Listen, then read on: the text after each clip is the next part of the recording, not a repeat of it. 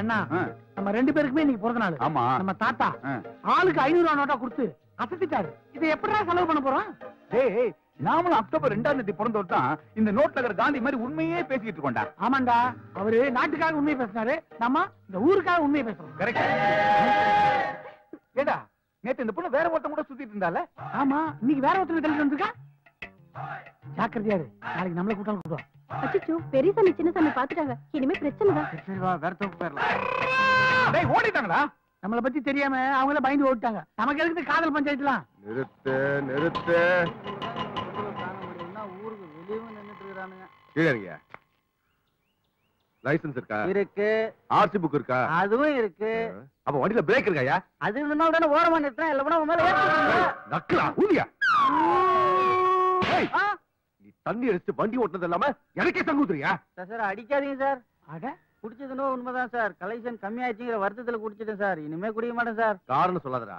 குடிச்சிட்டு வண்டி ஓட்டுறது கோர்ட்டுக்கு போனா எவ்வளவு அபராதம் தெரியுமா? ஐயாயிரம் ரூபாய் கவர்மெண்ட் பஞ்சாயத்து நமக்கு வெயிட்டிங்க அதுல மூக்க நுழைப்போம். சார் சார் அப்படிலாம் பண்ணிடாதீங்க சார். என்னால ஐயாயிரம் ரூபாய்லாம் கட்ட முடியாது சார். பாக்கெட்ல எவ்வளவு வச்சிருக்க? சார் இதுல ஐம்பது ரூபா லஞ்சமா எடுத்துட்டு மிச்சம் ஐம்பது ரூபா கொடுத்துருங்க சார். இதை வச்சுதான் சார் எங்க வீட்டுல நீங்க அடுப்பு எறியணும் சார். இன்ஸ்பெக்டர், லஞ்சமா? ஏய் இருடா சார் என் மிச்சம் ஐம்பது ரூபா சார்.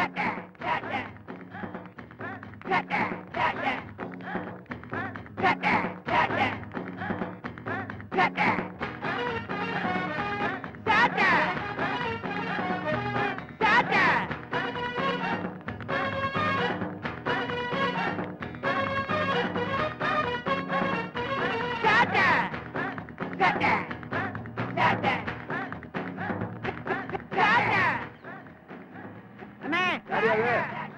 ஒழுங்கா சாப்பிட்டுக்கண்ணே சரி சரி. ஐயோ! கரெக்டா சாப்பிட்டீங்க தொலைஞ்சாடா இன்ஸ்பெக்டர்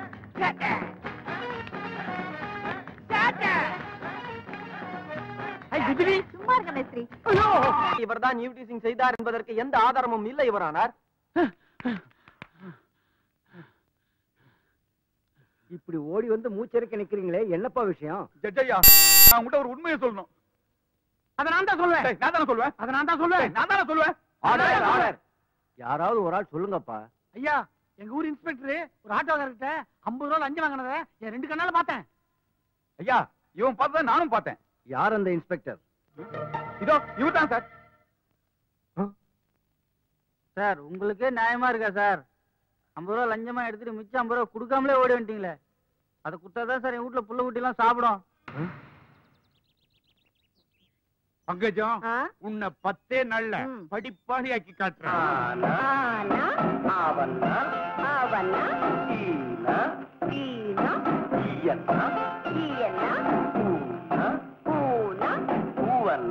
பூவன்னா என்னென்னமன நிறுத்துங்க. மெல்லினமா. ஆ? யார் அவன்? என் புருஷன் பாடம் சொல்லி கொடுக்கும்போது நிறுத்த சொல்றவன். வாரேன். என்னையா உன் பிரச்சனை? உங்க பேரனுக்கு உண்மை பேசுறத நிறுத்த சொல்லுங்க. யோ அவனுங்க உண்மையை தான் பேசுவானுங்க? ஏன்னா நான் வளர்த்த வளர்ப்பு அப்படி. வெறும் ஐம்பது ரூபாய் லஞ்சம் வாங்கினேன். அத போய் அந்த ஜட்ஜி கிட்ட சொல்லிட்டாங்க. ஜட்ஜி எனக்கு ஐயாயிரம் ரூபாய் அபராதம் போட்டு அப்படியே என்ன சென்னைக்கு மாத்திட்டாரு. ஆஹா. நீ ஏன் பாக்குற மாதிரி லஞ்சம் வாங்கின? தெரியாம வாங்க வேண்டியதானே? ஐயா இன்ஸ்பெக்டர் வண்டி கட்ட அவர் சமாளிச்சிருவாரு. நாங்க குடும்பத்தை எங்க நிலைமைய கொஞ்சம் யோசிச்சு பாருங்கய்யா. ஐயா எங்களுக்கு வர வருமானம் பொண்டாட்டி பிள்ளைங்க சாப்பாட்டுக்கு பத்த மாட்டேங்குது ஏதோ சைடு வருமானத்தை வச்சுதான் குடும்பமே ஓடிட்டு இருக்கு. எங்களுக்காக உங்க பேரங்களை உண்மை பேசுறதை நிறுத்த சொல்லுங்கய்யா. யோ உனக்கு சாப்பாட்டு கஷ்டம் இருந்தா என் வீட்டுக்கு வந்து சாப்பிட்டு போங்கயா அதை விட்டு என் பேராண்டிங்களை குறை சொல்லாத. அவனுங்க யாருக்காகவும் உண்மையை சொல்றதை நிறுத்த மாட்டானுங்க. நாங்க அவங்கள அப்படித்தான் வளர்த்திருக்கோம். நீங்க பொய் சொல்றதை நிறுத்துங்க லஞ்சம் வாங்குறத நிறுத்துங்க. நான் ஏன் நிறுத்தணும்? வாங்குவேன் பழி வாங்குவேன். சின்னசாமி பெரியசாமி ரெண்டு பேரையும் பழி வாங்குவேன்.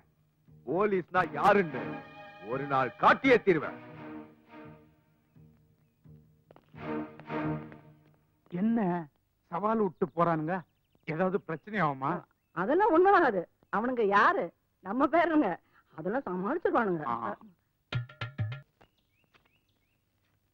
அம்மா தாயே காமாட்சி என்ன காப்பாத்து.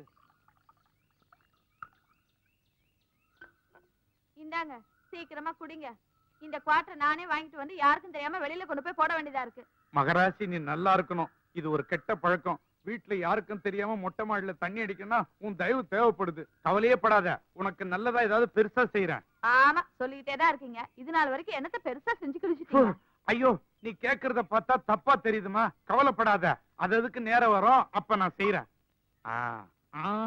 ஏமா கல்யாணம் ஆன கையோட புருஷன்கிட்ட சண்டை போட்டு வந்துட்டியே. புள்ள குட்டி பெத்துக்கணும்னு ஆசை இல்லையா? அவங்கிட்ட போய் சேர வேண்டியது தானே? எனக்கு மட்டும் ஆசை இல்லையா அவர் சேர விட்டா தானே ஆஹா யாரு கண்ணில் படாம பேசாம போயிடு. ஆ எல்லாம் சரியா இருக்கு. ஆ ஆ சரி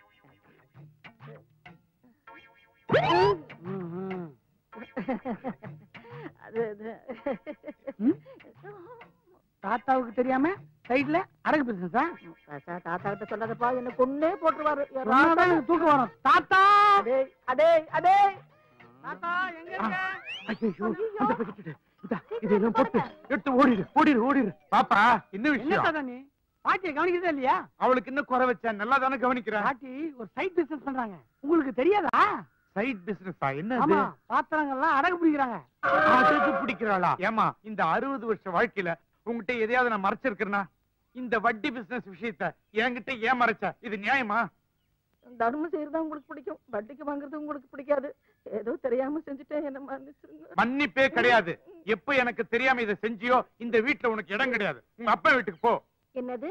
எங்க அப்பா வீட்டுக்கு நான் போகணுமா? இது யார் வீடு? எங்க அப்பா வீடு. நான் போக மாட்டேன். நீங்க தான் போகணும். என்னடா சொல்ற ராசா? தேவையா அந்த வீராப்பு? அது வந்து வீசுது? இல்ல அந்த ஓட்டுக்குள்ள எலி செத்து போயிருக்குது. அதான். எலியா? செங்கமலம்? அம்மா? இங்க வா. என்னம்மா? ஆமா. அந்த வீட்ல என்ன பிரச்சனை? பேரனுக்கு தெரியாம தாத்தா தண்ணி அடிக்கிறாரு பாட்டி அடகு பிடிக்கிறாங்க. அதான் பிரச்சனை. அவங்க அப்பா அம்மா இங்க இவங்க நாலு வயசா இருக்கும்போதே அவங்க அப்பா அம்மா ஆக்சிடென்ட்ல இறந்து போயிட்டாங்க. அவங்க ரெண்டு பேரும் லவ் பண்ணி தான் கல்யாணம் பண்ணிக்கிட்டாங்க. இந்த விஷயத்த தாத்தாவுக்கு தெரியாம மறைச்சிட்டாங்க. இந்த சின்னசாமி பெரியசாமி பிறந்ததுக்கு அப்புறம் தான் அவங்க கல்யாணம் பண்ணிக்கிட்ட விஷயமே வீட்டுக்கு தெரிஞ்சது. அப்போ அவங்க ரெண்டு பேரும் ரெட்ட குழந்தைங்களா? ஆமாமா அவங்க அப்பா அம்மா பொய் சொன்ன மாதிரி இவங்களும் பொய் சொல்லிடக் கூடாதுன்னு உண்மையை மட்டுமே பேசணும்னு அவங்க தாத்தா பாட்டி ரொம்ப கண்டிப்போட வளர்க்கறாங்க. நீங்க சொல்றது பார்த்தா அவங்க உண்மையை மட்டும்தான் பேசுவாங்களா? ஆமாமா ரொம்ப ஆச்சரியமா இருக்கு. இந்த காலத்துலயே உண்மையை மட்டுமே பேசுறவங்களா? ரொம்ப உணர்ச்சி வசப்பட்டுறாதீங்கம்மா. உண்மையை சொல்றேன் பேர் வழின்னு ஊருக்குள்ள நிறைய பிரச்சனைகளை ஏற்படுத்திட்டு இருக்காங்க. அப்ப நான் வரேம்மா.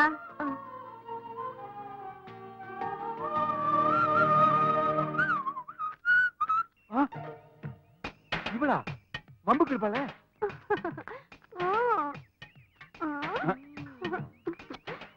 ஐயா. எதுக்கு புல்லு கட்ட போட மல்லு கட்டதான் மல்லு கட்டவா ஒரு நிமிஷம் வாயே. என்ன? நான் தான் ஒதுக்கி போனல எதுக்கு வேணுக்குனே அடிச்ச? நானும் அடிச்சேன். நீங்க தானே அடிச்சீங்க? ரோட்ல அடிச்ச எப்படி? வீட்டுக்கு வந்தா நல்லா இருக்கும்ல. உன் வீட்டுக்கா? நான் எதுக்கு வரணும்? அதான் அந்த ஒட்டரை குச்சி டெய்லி உன் வீட்டுக்கு வரான். அது தெரியாதுன்னு நினைச்சுக்கிட்டியா? அவர் இப்பெல்லாம் வீட்டுக்கே வரதில்ல.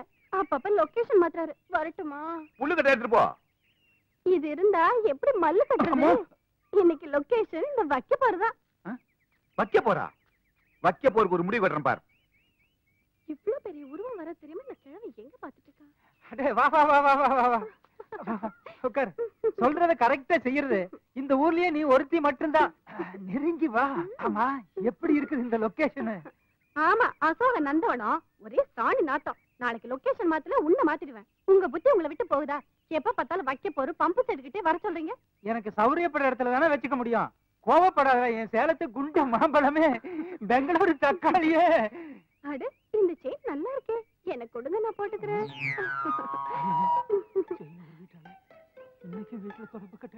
எங்கிட்ட மட்டும் தெளிவா இருக்கீங்க? இருந்துதானே ஆகணும். உங்க பொண்டாட்டி கிட்ட போகும்போது மட்டும் ஏன் தண்ணி அடிச்சிட்டு போறீங்க? தண்ணி அடிச்சிட்டு போனா என் பொண்டாட்டிக்கு என்ன பிடிக்காது. ஆனா தண்ணி அடிக்காம போனா அவளை எனக்கு பிடிக்காதே. அப்ப தண்ணி தெளிச்சு அடிச்சா பிடிக்குமா? ஐயோ பெரிய சாமி தெரிஞ்சு போச்சே. பெரிய பிரச்சனை ஆக்கிடுவானே.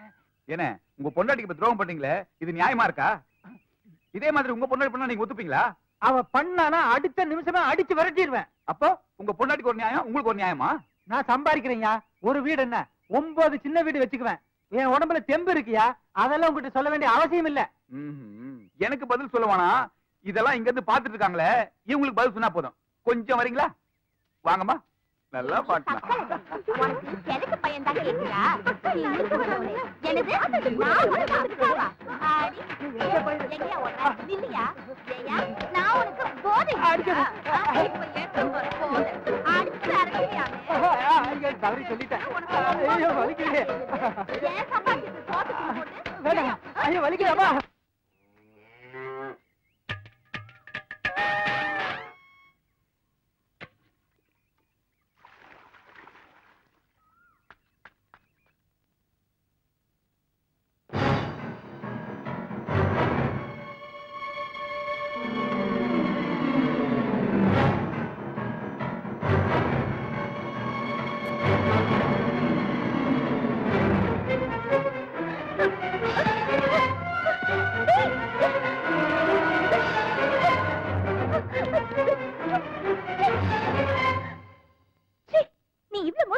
நான் கொஞ்சம் கூட நினைக்கல.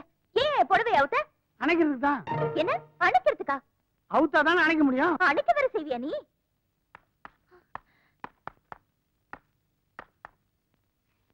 புடவையில நெருப்பு பிடிச்சு கூட தெரியாத அளவுக்கு சமையல் பண்ணிட்டு இருக்க நான் மட்டும் வரலன்னா எல்லாம் தீஞ்சு போயிருக்கும். புடவையில நெருப்பு பிடிச்சா புதுசா எதனா கிடைக்கும்னு சொல்லுவாங்க. உனக்கு என்ன கிடைக்க போகுது தெரியல.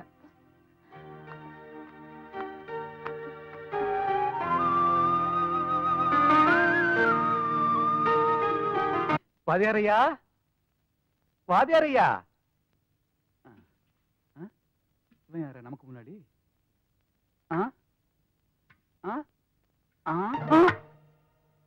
ஏண்டா உன்னை நான் அங்க தேடிட்டு வரேன். எனக்கு முன்னாடி இங்க உட்கார்ந்துட்டு இருக்கே நீ? நீ வருவேன்னு தெரிஞ்சுதான் முன்னாடியே வந்து உட்காந்துட்டேன் ஆ.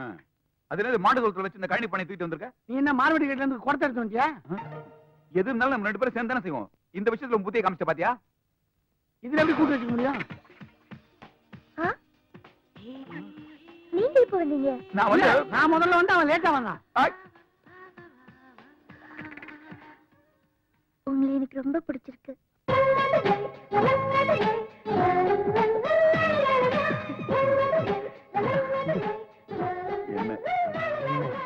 ஆமா நீங்க உண்மையை மட்டும்தான் பேசுவீங்களாமே.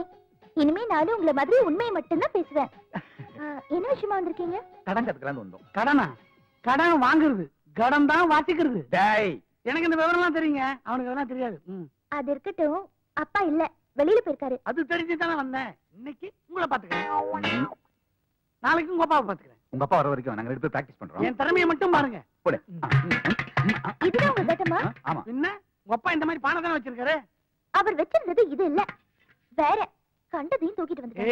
எனக்கு தான் பெரிய கடன் டேய் உனக்கு அண்ணா ஏறா நான் தானே. எனக்கு தான் பெரிய கடன். அண்ணனுக்கு வேணா சொம்பு பெருசு. எனக்கு கடன் தான் பெருசு. இத பாரு நான் சொல்றது கேளு. நீ சொல்றது நான் என்ன கேக்கணும் எனக்கு தான் பெருசு. எனக்கு தான பெருசு? எனக்கு தான பெருசு. எனக்கு தான பெருசு? சொம்பு தானே சொம்பா தான எனக்கு தான பெருசு? சரி வெச்சிக்க. அடேங்கப்பா. थैंक यू ரெடி 1 2 3 4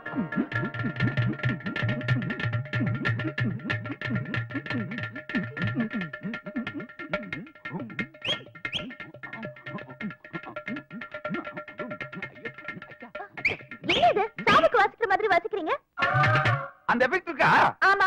நாங்க வழக்கமா வாசிச்சோம்னா சாவுக்கு வாசிச்ச மாதிரி தெரியும். சங்கீதத்துக்கு வாசிக்கணும்னா யாராவது பாடணும். கரெக்ட் நாம என்ன பாடுடா வெயிட் பண்றோம்.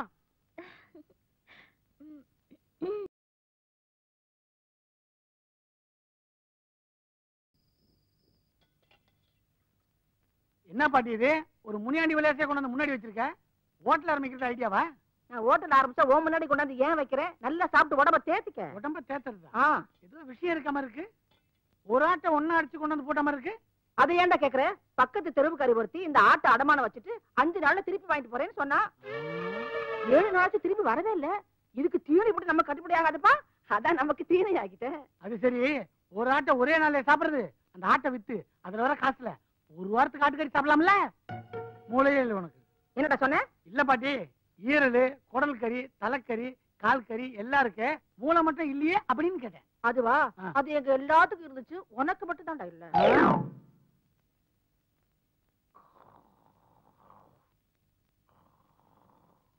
நல்லா மூக்கு முட்டை கொட்டிக்க வேண்டியது. அப்புறம் கண்ணை மூடி நல்லா தூங்க வேண்டியது. நீ மட்டும் என்ன பண்ணிட்டு இருக்க? அதான் பண்ணிட்டு இருக்க? முடிச்சுட்டு தான் இருக்கியா? சொல்லு. என்ன விஷயம்? ஸ்ட்ரைட்டா மேட்ருக்கே வரேன். அந்த பொண்ணு தான் என்ன பிடிச்சிருக்குன்னு சொல்லிடுச்சுல்ல ஆமா. அதுக்கப்புறம் நீ ஏன் ஆடுதுன்னு விளக்காம இருக்க? பொண்ணு பிடிச்சதுன்னு சொன்னது உண்மை இல்லப்பா. என்ன? உனக்கு அப்படி ஒரு நினைப்பா? வேற? என்னடா? என்னடா? என்னடா? ஒரு முடிவு பண்ணுவான் சரி. அந்த பொண்ணுகிட்டே போய் கேட்போம் யாரை பிடிச்சிருக்குன்னு? யாரை பிடிச்சிருக்கோ அவங்க கன்சியூம் பண்ணும். மத்தவங்க விலைக்குவான் இப்ப சொன்னியே இதான் கரெக்ட் கை கொடு. கேட்டுன்னு கொடுங்க. மோளே கடன் வாங்கியான அச்சனை கடம் மேடிச்சது. மீண்டும் சின்னசாமி பெரியசாமி கையில மாத்திரை கடம் கொடுக்கிறது. இந்தா இந்தா இதை பிடிச்சோம் நீ வீட்டுல விட்டு போய்க்கோ. இவட அடுத்து வில் வித்வான் விக்ரம் பார் வீடுண்டு. அவரை கண்டுட்டு ஞான் வரான். ம், ஆ? சரி. ஏண்டா புண்ணாக்கு போய் தோல் மேல வச்சுட்டு ஏன்டா மாடு மாதிரி கத்துற? வெயிட் தாங்க முடியல. நீ கொஞ்ச நேரம் சும்மா. தூக்கி ஒரு நிமிஷம் கூட ஆகல. அதுக்குள்ள கை வலிக்குதா உனக்கு? டேய் அந்த மலையில குட்டி வருது. டேய் அன்னைக்கு பிடிச்சிருக்குன்னு சொன்னால அது யாருங்கறத இன்னைக்கு கேட்டு தெரிஞ்சுக்கலாம். கரெக்ட் கேரளா குட்டி நில்லு. என் பேர் கேரளா குட்டி இல்ல சுந்தரி குட்டி. ரொம்ப நல்ல பேரு. உங்ககிட்ட ஒரு முக்கியமான விஷயம் பேசணும். என்ன விஷயம் சொல்லுங்க. அன்னைக்கு உங்களை ரொம்ப பிடிச்சிருக்குன்னு சொன்னியே என்னதானே சொன்னேன் ம் தொடப்பு கட்ட பிஞ்சிரும். இப்பயாவது புரிஞ்சுக்கிட்டியா? பாவம் சின்ன பையன் தெரியாம கேட்டான். நீங்க என்னதானே விரும்புறீங்க? ம் தொடப்பு கட்ட பிஞ்சிரும். ரொம்ப சிரிக்காத ரெண்டு பேரும் சேர்த்து தான் சொன்னாங்க. இவ்ளோ பெரிய வெயிட்டான புண்ணாக்கு பைய தொடப்பு கட்டு மேல வச்சா தொடப்பு கட்டு. அவங்க பிச்சிரும் சொன்னது தொடப்ப கட்டையடா. அப்ப என்ன இல்ல? என்ன இல்ல.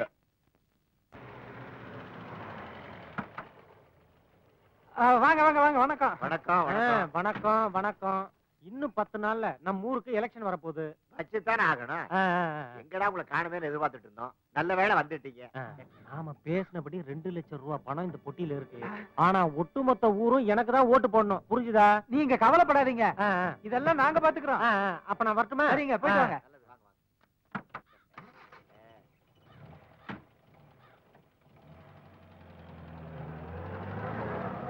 நாலாவது வேட்பாளரும் பொட்டியை கொடுத்துட்டு போயிட்டாரு. இதோட நம்ம கைக்கு எட்டு லட்சம் ரூபாய் வந்தாச்சு. ரொம்ப சந்தோஷமா இருக்கு. இதோ பாரு இந்த பணத்தையாவது. ஊர் நன்மைக்கு பயன்படுத்துங்க. உங்க சின்ன வீட்டுக்கு பெரிய வீடு கட்டி கொடுத்துட போறீங்க. ஏன்டா இப்ப பார்த்தாலும் அழுதுட்டே இருக்கிற? முதல்ல அழுகை நிறுத்து. வீட்ல எதுவும் சொன்னாலும் கேட்க மாட்டேங்கிற. என்னம்மா பையன் அழுகுறான் சின்னசாமி என் குழந்தை அழுது அடம் பிடிக்குது. குழந்தை கொஞ்சம் பாத்துக்கிறியா கடைக்கு போயிட்டு வரேன். அதனால என்ன? நீங்க போங்க நான் பாத்துக்கிறேன் ஆமா பையன் பேர் என்ன? மணி. தான் அலறான் நீங்க போங்க. சரிப்பா. ஏய் அழகுறா இந்த பார் எடுத்துக்க சாக்லேட் வேணாமா? இந்த பார் பிஸ்கெட்டு. இன்னும் எது கொடுத்தாலும் வேணான்ற? என்ன கேட்டா வாய் அடைப்பான்.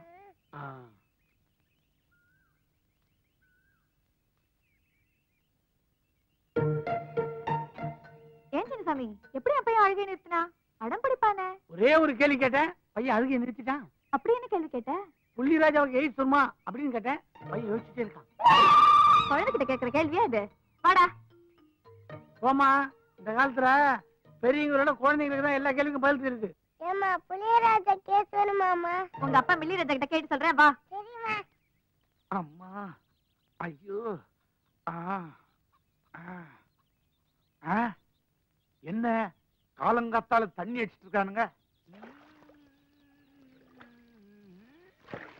என்ன வலி வலிக்குது?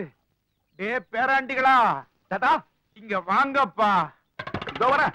ஆ, கொஞ்சம் காலை புடிங்கப்பா. வலிக்குது. பிடிச்சோம்.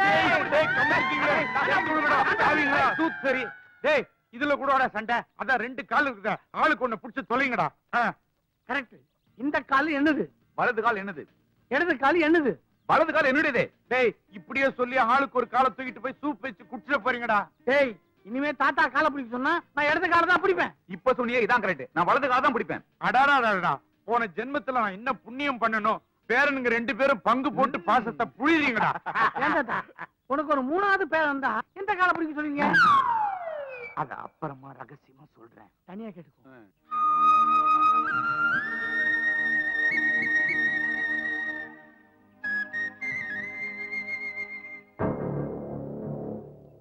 நம்ம ஊர்ல எலெக்ஷன் முடிஞ்சு ஒரு வாரம் ஆச்சு. நாளைக்கு தான் ஓட்டு எண்ணிக்கை. ஒட்டு மொத்தம் ஊர் உங்களுக்கு தான் ஓட்டு போடும்னு சொல்லி இந்த தொகுதியில போட்டி போடுற நாலு வேட்பாளர் இருந்தோம் ஒருத்தருக்கு தெரியாம ஒருத்தர்கிட்ட இருந்து தலா ரெண்டு லட்சம் பொய் சொல்லி வாங்கியிருக்கோம். இந்த எட்டு லட்சம் ரூபாய் பணத்தை வச்சு நம்ம ஊர் குறை பூரா தீர்த்தணும் அவங்கள ஏமாத்தி பணம் வாங்குனது யாருக்கும் தெரியக்கூடாது. இது வரைக்கும் நாம கட்டுக்கோப்பா இருந்துட்டோம். ஓட்டு எண்ணிக்கை முடியற வரைக்கும் நாம ரொம்ப ஜாக்கிரதையா இருக்கணும். குறிப்பா இந்த சின்னசாமி பெரியசாமிக்கு மட்டும் இந்த விஷயம் தெரியவே கூடாது. இதுல நாம உறுதியா இருக்கணும். ஆமா. ஒட்டி உங்ககிட்ட தான் இருக்குது. ஜாக்கிரதையா இருக்கும்ல ஏதாவது பிரச்சனைனா என்கிட்ட கொடு நான் பாத்துக்கிறேன். இன்னும் ஒரு நாள் தான் இருக்கு. அது எங்கிட்டே இருக்கட்டுமே. எங்கிட்ட இருந்து எதுவுமே லீக் அவுட் ஆகாது. ஐயோ வேண்டாம் விடுங்க. சரி வச்சுக்கலாம் பரவாயில்ல.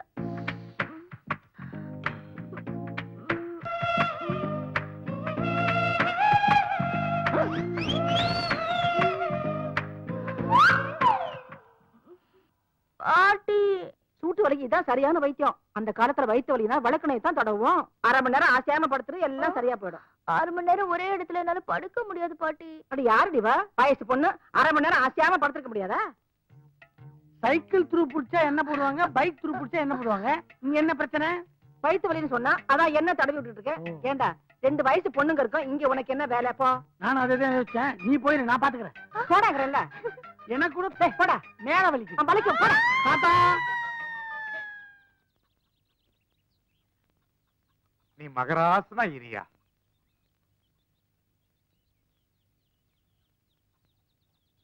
ஏ அந்த காலையே இவ்வளவு நேரம் புடிச்சிட்டு இருப்பப்பா. இந்த காலை கொஞ்சம் புடிச்சு விடுப்பா? அது அவன் காலு. நான் தொட மாட்டேன். அவன் காலு இல்லடா. இது ஏன் காலு. ஆயிரம் சொல்லுங்க.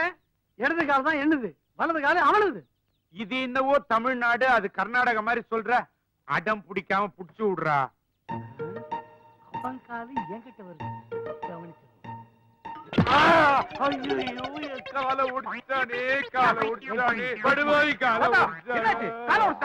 இது ஏன் காலாச்சே? ஏன் காலை உடைச்சானா இவன்? ஏய் அது ஏன் கால்ரா தான் ஆயிரம் தான் சொல்லு. வலது கால் என்னுடைய கால். அதை உடைச்சா இவன் அதை பார்த்து சும்மா இருக்க நீ. சொல்றேன் நீ என்னடா பண்ண போற? நான் உடைக்கிறேன். மழுக்கு ஐயோ அப்பா. டேய் அவன் காலு இவன் காலு என் காலு ஒடிச்சுங்கடா. அம்மா. அம்மா வண்டியில வரும்பொழுதே இந்த வலி வலிக்குதே. தரையில காலை ஊனி எப்படித்தான் நடக்க போறனோ தெரியலையே. டாக்டர் இனிமே இவருக்கு இந்த வீல் சேர் தானா? எழுந்து நடக்கவே முடியாதா? நீங்க ஒண்ணும் கவலைப்படாதீங்க. முட்டி எலும்பு தான் தேங்காய் உடைஞ்ச மாதிரி ரெண்டா உடைஞ்சிருக்கு. நடந்தா நாலா உடையும். நான் சேர்த்து வச்சு கட்டியிருக்கேன். சீக்கிரமே குணமாயிரும். இத வச்சு நடந்து பழக சொல்லுங்க. நான் வரேங்க. பாத்தியாடி பேரன்களை ஊட்டி ஊட்டி வளர்த்தேன். அவனுங்க ஊன்றுகோலையும் சக்கர வண்டியும் குடுத்துட்டு போயிருக்கிறானுங்க. அவனுங்களை ஏன் கால அமுக்க சொன்னீங்க? என்கிட்ட சொல்லியிருந்தா நான் அமுக்கி விட மாட்டேனா? நல்ல வேலை கால அமுக்க சொன்னீங்க. இதே கழுத்து அமுக்க சொன்னீங்க ஆமா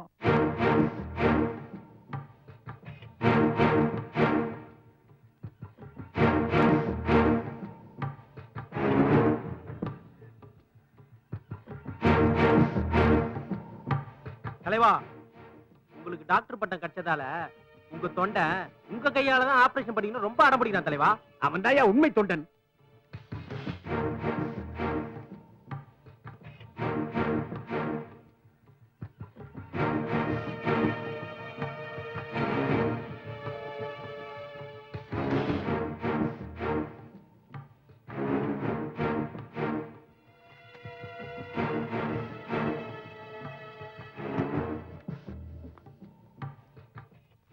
அடுத்து நம்ம சிங்கப்படி ஓட்டு தானே என்ன போறாங்க? இந்த பொட்டியத்தான் நான் எதிர்பார்த்துக்கிட்டு இருந்தேன். சிங்கம்பட்டி ஓட்டு மட்டும் எண்ணி முடியட்டும். உங்களுக்கு டெபாசிட் கிடைக்காது. அவங்களுக்கு மட்டும் இல்ல உங்களுக்கும் டெபாசிட் கிடைக்காது. என்ன தம்பி சொல்றீங்க? உங்ககிட்ட இருந்து ரெண்டு லட்சம் ரூபாய் எங்க ஊர்க்காரங்க வாங்கியிருக்காங்களா இல்லையா? ஆமா. உங்க மூணு பேர்கிட்டயும் தலா ரெண்டு லட்சம் வாங்கியிருக்காங்களா? ஆமா. ஆக ஒருத்தருக்கு தெரியாம ஒருத்தர்கிட்ட மொத்தமா எட்டு லட்சம் ரூபாய் எங்க ஊர்க்காரங்க ஏப்ப விட்டுருக்காங்க. இந்த ஊர் முழுக்க ஒரு சுயேட்சை வேட்பாளருக்கு ஓட்டு போட்டாங்க. உங்களுக்கு அல்வா கொடுத்தாங்க. ஆமா இந்த விஷயம் உங்களுக்கு எப்படி தெரியும்? இந்த ஊர் பெருசு ஒண்ணு ஆயிரம் ரூபாய் நோட்டா செலவு பண்ணிட்டு இருந்துச்சு. அத கப்புன்னு புடிச்சு கேட்டா விஷயம் தெரிஞ்சிச்சு. நீங்க ஆயிரம் ரூபாய் நோட்டா கொடுத்தீங்களா? அரசியல்வாதிகளுக்கே ஆப்பா. நாங்கெல்லாம் சேட்டை பண்ண ஆரம்பிச்சோம்னா இந்த நாடே தாங்காது. அதுக்கப்புறம் சிங்கம்பட்டி ஊரே வந்து அசிங்கம்பட்டி ஆயிரும். ஆமா தம்பி உன் பேர் என்ன? என் பேரு சின்னசாமி. என் பேரு பெரிய சாமி சாமி மாதிரி வந்து உண்மையை சொன்னீங்க. நாங்கெல்லாம் அரசியல்வாதிகள். எலெக்ஷன் நேரத்துல மட்டும் அடிச்சுப்போம். மத்தபடி பூரை அடிச்சு உலகிற போடுற விஷயத்துல ஒற்றுமையா தான் இருப்போங்கிற நிரூபிப்போம். வாங்க. வாங்க போலாம். ஆ. நம்மளோட இன்றைய கடமை. இது போதும். சும்மா சும்மா தலையில அடிக்காதயா ஏற்கனவே எனக்கு தலைவலி. நெஞ்சில் அடிக்காதயா எனக்கு ஹார்ட் அட்டாக் வந்திருக்குது. வேற எங்கதான் உன்னை அடிக்கிறது? அடிக்கணும்னு ஆசை இருந்தா பக்கத்துல இருந்து ஆரோக்கியமா கண்ணாடி ஓட்டி நிக்கிறான். அவன் அடிச்சுன்னு இருக்கு என்ன அதே ஐக்கிரமா இருக்குது? யோ எதா இருந்தாலும் வருஷத்தை அடி அடிக்காதயா.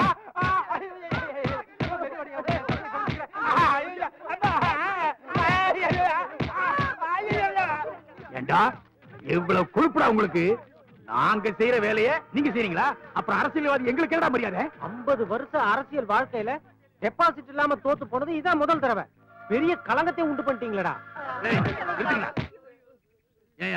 ஏழு லட்சத்தி தொண்ணூத்தி ஐயாயிரம் ரூபாய் தான் இந்த பொட்டியில இருக்கு. மீதி ஐயாயிரத்தை சுட்டிட்டீங்களா? ஐயா அடிக்கிறது நிறுத்த சொல்லிட்டீங்க. எங்களெல்லாம் கொஞ்சம் அவுத்தோட சொல்லுங்க ஐயா. ஓடி போயிட்டேன்னா ஐயா வட்டிக்கு படம் வாங்கியது உங்க ஐயாயிரம் ரூபாய் திருப்பி கொடுத்துறேன் ஐயா. அதுக்கு எங்கிட்ட தானே வருவேன் ஏங்க உங்களுக்கு இந்த விஷயத்தை யாருங்க சொன்னது? சின்னசாமி பெரியசாமி தான் சொன்னாங்க. அவங்க மட்டும் சொல்லலனா இந்த விஷயம் எங்களுக்கு தெரியாம போயிருக்கும். சின்ன சாமி? பெரிய சாமியா? அவங்க கிட்ட சொன்னது யாரியா நமக்குள்ள யார் அந்த கருப்பாடு? அந்த கருப்பாடு நான் கொடுத்த ஆயிரம் ரூபாய் நோட்டை ஜாலியா செலவு பண்றத அவங்க பாத்துக்காங்க உங்களுக்கு எவ்வளவு நெஞ்செழுத்துண்டா? இதோட விட்டுருவேன்னு மட்டும் நினைச்சிடாதீங்க. இனிமேதான்டா உங்களுக்கு இருக்கு. ஐயோ தண்ணி நின்னு வச்சே நான் எப்படி குளிப்பேன்? இனிமே இந்த ஊருக்கு தண்ணி எல்லாம் வராது. பேப்பர் எடுத்து தொடச்சிட்டு போ. ஏய் நம்ம டிம்ஸ் ஈஸ்வரியை தள்ளிட்டு வந்துச்சியாடா அட பாவி ஸ்கூல்ல படிக்கும் போதே இந்தியா பாகிஸ்தான் மாதிரி சண்டை போட்டுக்கிட்டு இருப்பீங்க. இப்ப உங்களுக்குள்ளேயே லவ் ஆகி ஓட்டிட்டு வந்து ஐயோ கரண்ட் போச்சே. ராக்கா ஏக்கா விஷயம் தெரியாதா? இனிமே நம்ம ஊர்ல கரண்ட் எல்லாம் இல்லையா? சீமெண்ண விளக்கு தானா?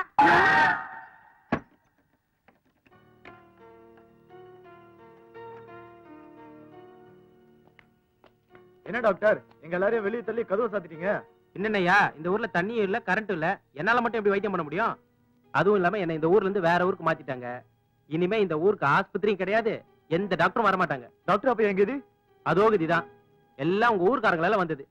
இப்படியே பஸ்ஸ புடிச்சு டவுன்ல உள்ள பெரிய ஆஸ்பத்திரியில போய் அட்மிட் ஆயிக்க.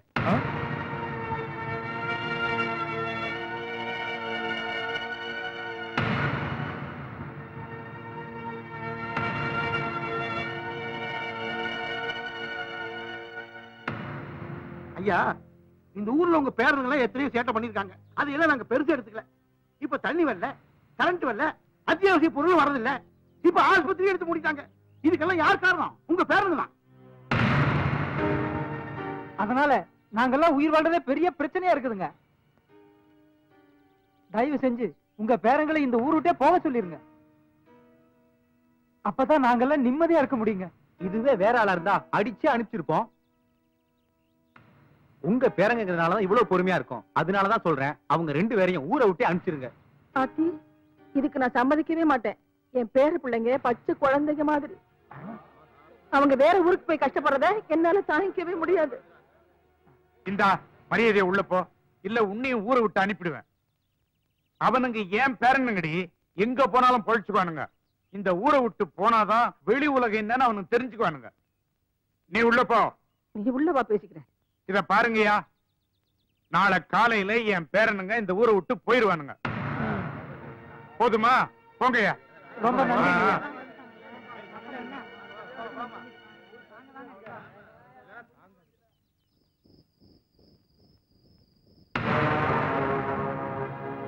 நீங்க சொல்லித்தானே நாங்க உண்மையா பேசணும்? இப்ப நீங்களே எங்களை ஊரை விட்டு போக சொன்னா என்ன என்னடா பண்ண சொல்றீங்க? எங்க உண்மையை பேசுறது எங்க பேசக்கூடாதுன்னு ஒரு வரமுறையே கிடையாதா? உங்களால ஒட்டுமொத்த ஊருமே தற்கொலை பண்ணிட்டு செத்து போயிருன்னு வாசல்ல வந்து புலம்புறானுங்கடா இந்த ஊரை விட்டு போனாதான் இந்த ஊரும் நிம்மதியா இருக்கும். உங்களுக்கும் புத்தி வரும். எல்லாம் உங்க நன்மைக்கு தாண்டா சொல்றேன். அவ்வளவுதான்.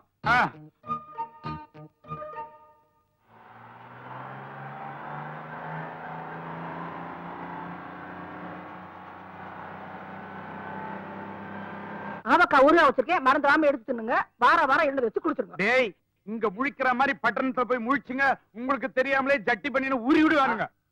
அதே எனக்கு கூட ஒரு தடவை அப்படித்தான் உருவிட்டாங்க. தெரியும் சும்மா இவன் வேற கரெக்ட் டைம் வந்து சேர்ந்துட்டான். நிறுத்தியா? தயங்காம போங்க தம்பி. உங்க செலவுக்கு மாசா மாசம் ஊர்ல இருந்து பணம் அனுப்பி வைக்கிறோம். பாத்தியாடா நம்ம நிலைமைய. காந்தி மாதிரி இருந்து இந்த ஊருக்கு நல்லது பண்ணலாம்னு நினைச்சோம். நம்மள கோட்சே வாக்கி ஊரை விட்டு துரத்துறாங்க. அப்ப நாங்க போயிட்டு வரட்டுங்களா? போங்க தம்பி வரதுங்கிற அவசியம் இல்ல.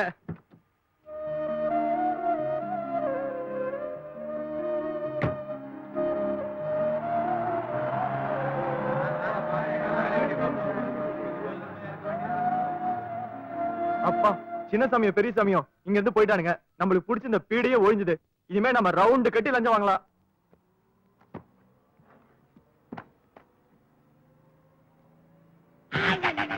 கூலிங் கிளாஸ் தான் போட்டு ஸ்டைலா உட்கார மட்டும் தெரியுது. சீட் நம்பர் பார்த்து உட்கார மாட்டியா? இது நாங்க புக் பண்ண சீட்டியா உன் சீட்டை போய் உட்காரு. மன்னிக்கணும். என்னால சீட் நம்பர்லாம் பார்க்க முடியாது. வேணா நீங்க கொஞ்சம் என் கைய புடிச்சு என் சீட்ல என்ன உட்கார வைக்கல யார் அது? மன்னிச்சுங்கம்மா. மன்னிச்சுங்க. ஐயோ கண்ணு தெரியாதா? சாரிப்பா அவன் தெரியாம பேசிட்டான். நீ இங்கேயே உட்காந்துக்க நாங்க வேணா இங்க உட்காந்துக்கிறோம். சரி சரி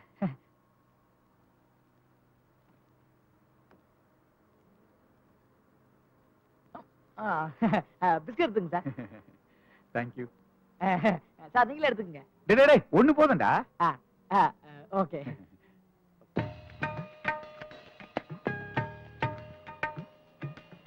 டேய் இந்த ஆள் ரொம்ப நல்ல மனுஷன்டா. நாம அவர் திட்டி கூட பிஸ்கட் கொடுக்குற பாத்தியா? ரொம்ப நல்லா இருக்கு. நீங்க சாப்பிடல? இந்த கண்ணு தெரியாத கபோதி. தூக்கம் வரும்போது மட்டும்தான் சார் இந்த பிஸ்கட்டை சாப்பிடுவான்.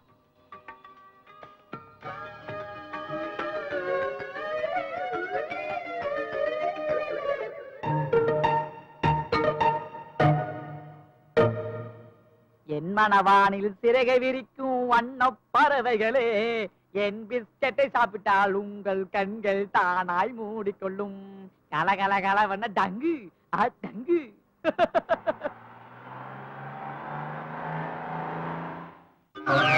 தாத்தா அப்பவே சொன்னாரு உஷாரா இருக்குடான்னு. பார்வை இல்லாதவன் பரிதாபப்பட்டுமே. இப்ப பார் எல்லாத்தையும் உருவிட்டு அம்மோன்னு விட்டான். டேய் உன்னை எவனா ரெண்டு பிஸ்கட் சாப்பிட சொன்னது? உன்னை ஒரு பிஸ்கட் தானே சாப்பிட சொன்னேன்? பசி ஆமா. சாப்பாட்டுக்கு என்ன பண்ண போறான் பசிக்குதே. தெரியலையே. நம்ம ரெண்டு பேர்த்தையும் பிச்சைக்காரனாவே ஆக்கிட்டாங்க. ஆமா நம்ம என்ன ஊர்ல இருக்கோம்?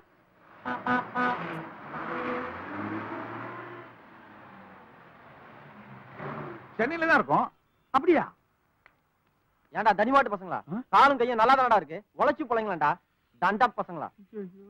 என்னடா இது அநியாயமா இருக்கு? ஒருத்தன் கேட்காம காசு கொடுத்துட்டு போறான். ஒருத்தன் என்னடான்னா எதுவுமே கொடுக்காம திட்டிட்டு போறான். என்ன இது?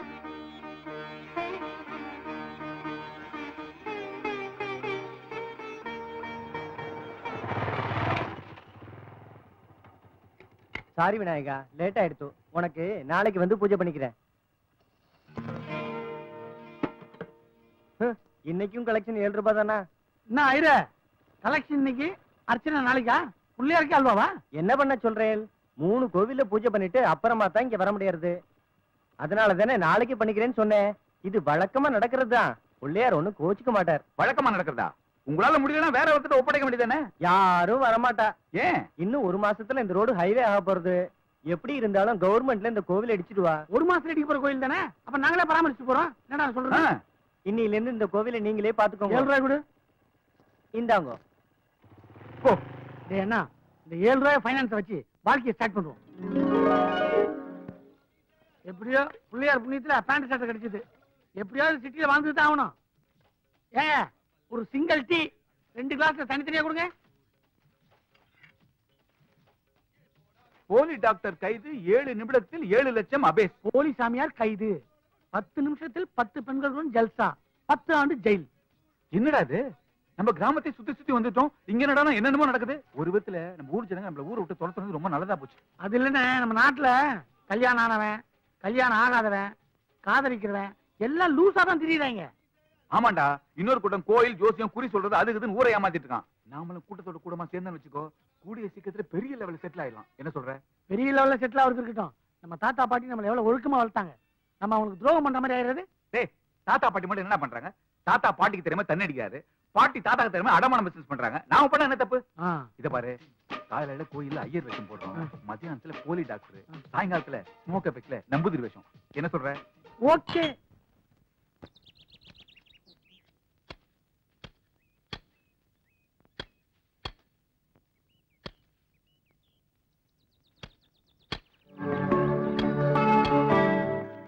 டேய் உன் முடிய வெற்றியோ இல்லையோ டெய்லி செடியை மட்டும் வெட்டிட்டு இருக்கடா. ஏண்டா நம்ம தான் இவ்வளவு பெரிய வீட்டை வாடகை எடுத்து வாழ்ந்துட்டு இருக்கோம்ல? ஏதாவது தோட்டக்காரன் சொன்னா அவன் அந்த வேலையை செஞ்சுட்டு போறான். உனக்கு எதுக்கு இந்த வேலையெல்லாம்? அங்கதான் மூளை யூஸ் பண்ணும். ஒரு தோட்டக்காரனை வேலைக்கு வச்சுன்னு வச்சுக்கோ. நம்ம பண்ற சாரத்தனத்துல அவன் தெரிஞ்சுக்குவான். அப்புறம் நம்மள பிளாக்மெயில் பண்ணுவான்ல? ஓ நீ அப்படி வரியா? டேய் நம்ம பட்டணத்துக்கு வந்து இப்பேற்பட்ட பிரார்த்தனை பண்ணதாலதான் இப்படிப்பட்ட வீட்டுக்கு வாடகை கொடுத்து வசதியா வாழ்ந்துட்டு இருக்க முடியுது. அதை நினைச்சுக்க ஃபர்ஸ்ட் நம்ம ஊர்ல உண்மையே பேசி தெரிஞ்சப்பா எத்தனை பேர் அவஸ்தைப்பட்டிருப்பான்னு இப்பதான்டா புரியுது. டேய் சின்னசாமி நமக்கு வர வருமானத்தை அந்த ஊருக்கு பயன்படுற மாதிரி அப்பப்ப பணம் அனுப்பிச்சிட்டே வேண்டாம் ஆனா ஒண்ணு நம்ம பிரார்த்தனை பண்ணி தான் இந்த பணத்தை அனுப்பிச்சு வைக்கிறோன்ற விஷயம் அந்த ஊருக்காரங்களுக்கு எந்த காலத்தை கூட தெரியக்கூடாதா நம்ம ஒரு ஜென்டில்மேன் விஷயத்த அடிக்கடி ப்ரூவ் பண்ணிட்டே இருப்போம். இதுக்காக நம்ம எத்தனை தடவை ஜென்டில்மேன் படம் பார்த்திருப்போம்? கரெக்ட்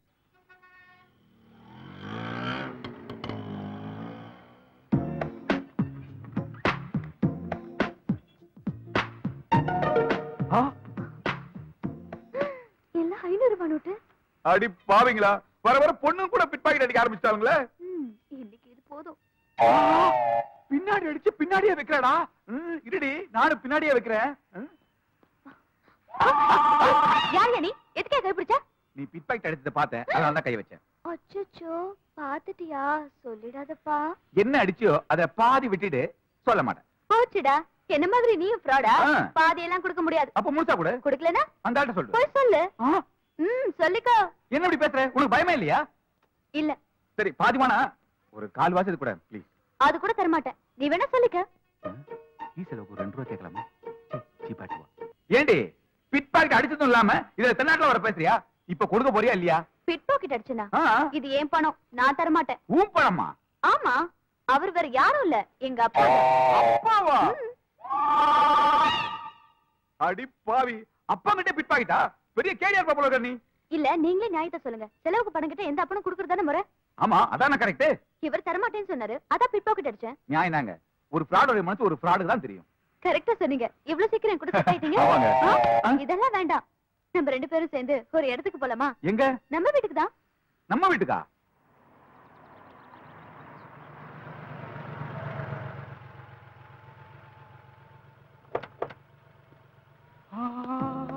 என்ன அப்படி பாக்குறீங்க? இவ்வளவு பெரிய வீடு உங்களுதா?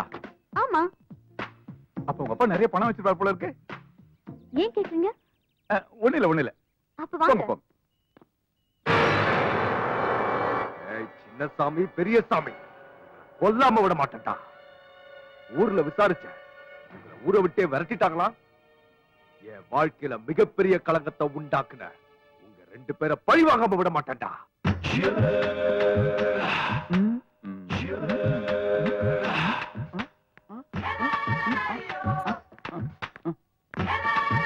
ஒரு நிமிஷம்.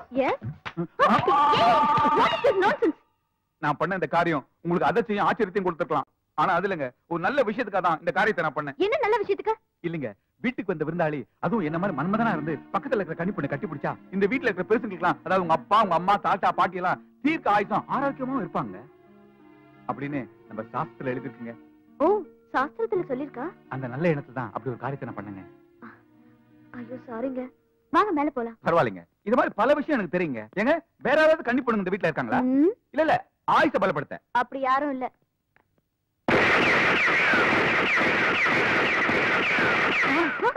ஐயோ எங்க போறீங்க? என்ன உள்ள துப்பாக்கி சண்டை நடக்குது? ஐயோ அது எங்க அண்ணன் தான். டென்ஷன் ஆனா ரெண்டு பொம்மைகளை வச்சு சுட்டுட்டு இருப்பாரு. இது வழக்கமா நடக்கிறதா? வாங்க. அப்படியா? அப்ப உங்க அண்ணன் லூசுன்னு சொல்லுங்க. எங்க இருந்தாலும் உங்களை விட மாட்டேன்டா. வாங்க இதுக்கே பயந்தா எப்படி? குடும்பமே லூசா இருக்கும் போல இருக்கு. ஏங்க எதுக்கு பெட்ரூம்க்கு கூட்டு வந்தீங்க? விஷயம் இருக்கு. ஹாய் நான் வீட்டுல இல்லைங்கிற தைரியத்துல எங்க அம்மா சாவி வெளியில வச்சுட்டு போயிட்டாங்க. இமீடியட்டா எனக்கு ஒரு டூப்ளிகேட் சாவி வேணும். எதுக்கு? ஒண்ணும் இல்ல இந்த பீரோ நிறைய எங்க அப்பா பணம் வச்சிருக்காரு. எனக்கு தேவைப்படும் போதெல்லாம் நான் எடுத்து செலவழிக்குதா? பணம் மட்டும் தான் வச்சிருக்காரா? இல்லையே நகைலாம் கூட இருக்கு. நகையில கூட வச்சிருக்காரா? குண்டல நீங்க பாண்டி பஜார் போய் ஒரு டூப்ளிகேட் சாவி ஒண்ணு பண்ணிட்டு வாங்களேன். இதுக்கு எதுக்கு பாண்டி பஜாரு பாக்கெட்ல இருக்குங்க பாண்டி பஜாரு அக்கா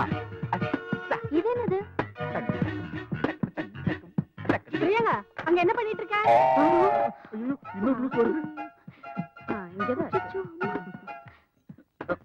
ஆமா தம்பி யாரு? பாண்டி பஜாரு. பாண்டி பஜாரா? இல்லம்மா பாண்டி பஜார்ல இன்டர்நெட் சென்டர் வச்சிருக்காருமா. ஓ நல்லதா போச்சு. என் பொண்ணுக்கு உங்க ஆபீஸ்ல ஏதாவது ஒரு வேலை போட்டு கொடுங்க. சம்பளம் எதுவும் வேண்டாம். பாக்கெட் மணி கொடுத்தா போதும். இவங்களுக்கு பாக்கெட் மணியா சரிங்க. தம்பி பக்த கொடிகளாம் வர ஆரம்பிச்சிட்டாங்க. ஸ்லோகத்தை டேப் ரெக்கார்டில் கரெக்டாக டேப் பண்ணி வச்சிட்டியா? ஐயர் முணுமுணுத்தாலே மந்திரம் தான் நினைப்பாங்க. மக்கர் பண்ணிட போதுரா இதை கையில் பிடிச்ச ஆட்டு. ஓம் கணாம் கணபதி கம்பவாமகே கவிங்கவேனாவுபவஸ்ரவஸ்ரமம் ஜேஷ்டராஜம் பிரம்மணான் பிரம்மணஸ்பதே ஆசின்வன்னோதிவே சீரசாதனம். ஓம் ஸ்ரீ மகாகணாதிபதயே நம तत्पुरुषाय विद्महे वक्रतुण्डाय धीमहि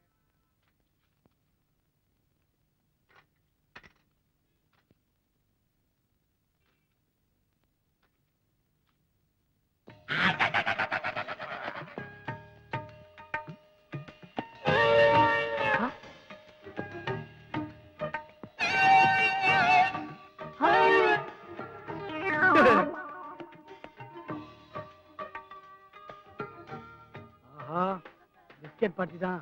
இப்ப இவன் திருடன் மாட்டி விட்டா நம்மள மாட்டி விட்டுவானே பெரிய சிக்கலாயிரும். என்கிட்ட திருடினவன் என் கை கெட்ட தூரத்துல இருந்தோம் பிடிக்க முடியலையே. விநாயகா இது ஓ சேட்டையா?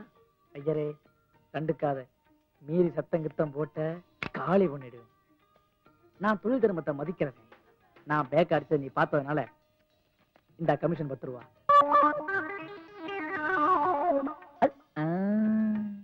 அட கேடி கத்தியும் காட்டி எனக்கு கமிஷனா கொடுத்துட்டு போற. எல்லாம் உன் நேரம்.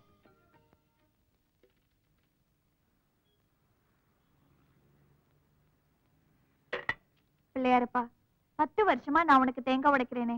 அந்த சத்தம் உனக்கு கேட்கலையா? என் வீட்ல குழந்தை சத்தம் கேட்கணும் தானே அதை செய்யறேன் எனக்கு எப்ப குழந்தை பாக்கியத்தை கொடுக்க போற? மகளே உன்னுடைய குறைகள் நிவர்த்தி ஆக வேண்டும் என்றால் பக்கத்து தெருவில் இருக்கும் டாக்டர் பஞ்சபுதம் அவர்கள் நீ சந்தித்தால் உன்னுடைய குறைகள் நிறைவேற்றப்படும். ஆமாம் உடனே செய். ஐயரே நீங்களா இப்ப பேசுனீங்க? இல்லையே. அப்போ வேற யாராவது பேசுனாங்களா? தெரியலையே. அப்போ சாமிதான்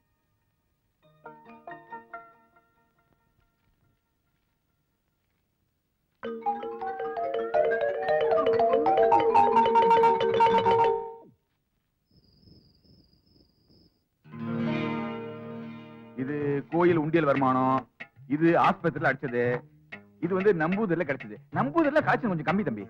அதுக்கு என்ன ஒரு குவார்டரு கோட்ரா குவார்டர் பேஜ் பேப்பர்ல விளம்பரம் கொடுப்பா பிக்கப் ஆயிட்டு போகுது. ஆஹா.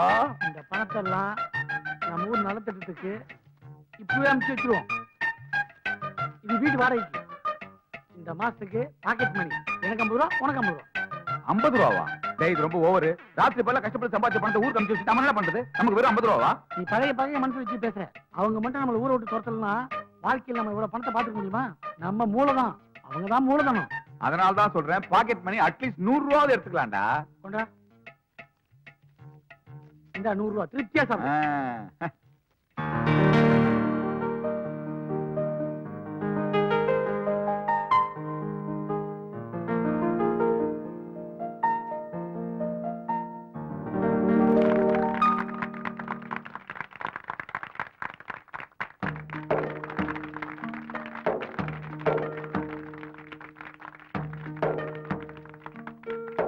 எல்லாருக்கும் வணக்கம். நான் பிறந்த இந்த கிராமத்துல சின்னதா ஒரு ஸ்கூல் கட்டணும்னு ஆசைப்பட்டேன். என்னவோ அது முடியாம போயிருச்சு.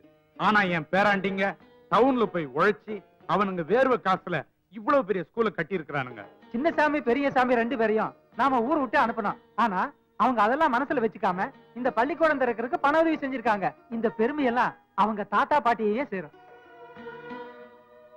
நமக்கு இவ்வளவு நன்மை செஞ்ச அவங்க மேலும் மேலும் வளர்ந்து எந்த பிரச்சனையும் இல்லாம சந்தோஷமா இருக்கும் இந்த ஊர்ல இருக்க பிள்ளைங்க எல்லாரும் இந்த பள்ளிக்கூடத்துல படிச்சு நாளைக்கு பெரிய பெரிய ஆளாகணும்னு நான் ஆசைப்படுறேன். என்ன? எல்லாரும் படிப்பீங்களா? நீங்க எல்லாம் கை தட்டினீங்க பாராட்டினீங்க. அதெல்லாம் எனக்கு சேர்ந்தது இல்ல என் பேரன்களை சேர்ந்தது. எல்லாரும் அவனுங்க நல்லா இருக்கணும்னு ஆசீர்வாதம் பண்ணுங்க.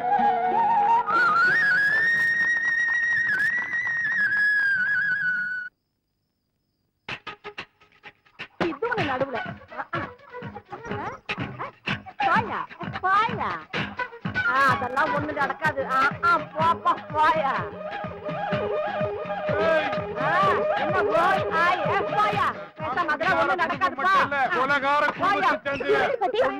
பாருமா இந்த ஆளு குடிச்சிட்டு வந்து என்ன அடிக்க வராருமா? நான் குடிப்பேன் குடிச்சிட்டு வந்து அடிப்பேன். என்னை யாரும் ஒண்ணும் பண்ண முடியாது. மரியாதை வா. உங்களுக்குள்ள என்னடா பிரச்சனை? பேரனுங்க இல்லைங்கிற தைரியத்தினால இந்த ஆளு குடிச்சிட்டு வந்து அழுத்தாட்டிய மாட்டாரு என்ன அடிக்க வர்றாரு. காலம்பரம் இருந்து பத்து முட்டை சாப்பிட்டாரு. அஞ்சு அவிச்ச முட்டை அஞ்சு பச்சை முட்டை. நல்ல தண்ணியை போட்டு வந்து எனக்கு ஆம்லேட் போட்டு கொடு ஆம்லேட் போட்டு கொடுன்னு கேக்குறாரு. முட்டை எல்லாம் தீர்ந்து போச்சு. இனிமே முட்டைக்கு நான் எங்க போவேன்? நான் போட்டா தான் அடிய நான் ஆம்பளை. பத்து முட்டை இல்ல நூறு முட்டை சாப்பிடுவேன் நான் கேட்டா கொடுக்கணும் அதுதான் உன் வேலை. அடடடா முட்டை தான் உங்களுக்குள்ள பிரச்சனையா? வாங்க வீட்டுக்கு போலாம் நான் போட்டு தரேன். வாங்க. வாங்க. இப்படி உட்காருங்க. நீங்க இங்கே இருங்க நான் இப்ப வந்துடுறேன்.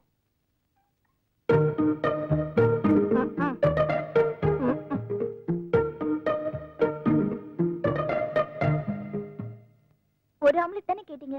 பக்கத்து வீட்ல இருந்து வாங்கிட்டு வந்து அஞ்சு ஆம்லெட் போட்டிருக்கேன். இப்ப சந்தோஷம் தானே? இது நான் கொடுத்ததா நினைக்க வேண்டாம். பாட்டி கொடுத்ததா நினைங்க. இனிமே இந்த வயசுல உங்க ரெண்டு பேருக்குள்ளயும் சண்டையே வரக்கூடாது.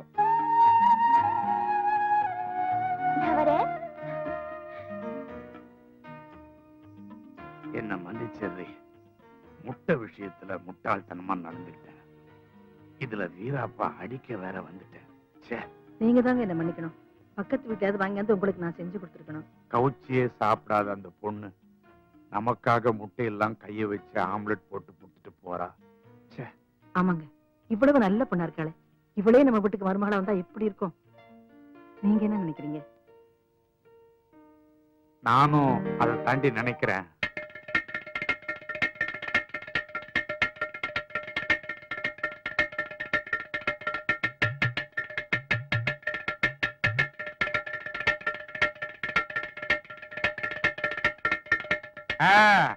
வரணும் வரணும்.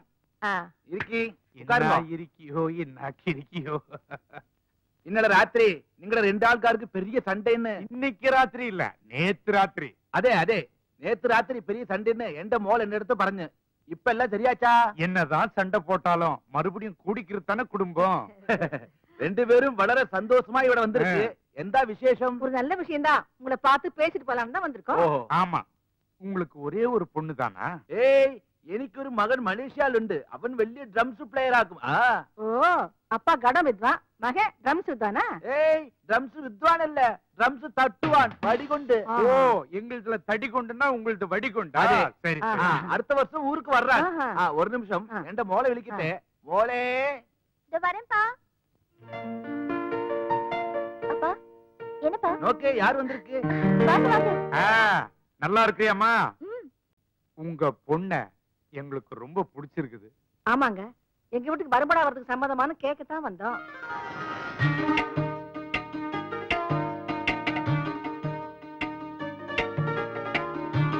உங்க வீட்டுல விவாகம் செய்ய யாரும் வேண்டாம்னு சொல்லுமா? நீங்க சொன்னா மட்டும் போதாது. உங்க பொண்ணு சொல்லணும்ல? அது சரியா. போல என்ன வரையணும்? அவளும் சம்மதிச்சு.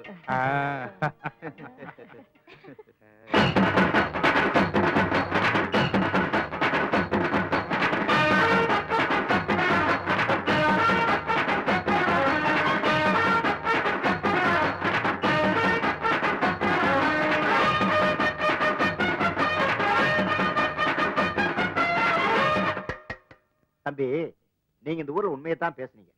அது எங்களுக்கு தப்பா தெரிஞ்சது. இதே உண்மையைத்தான் பட்டணத்துல போய் பேசியிருக்கீங்க அவங்க எல்லாம் உங்களை நல்லா புரிஞ்சுக்கிட்டாங்க.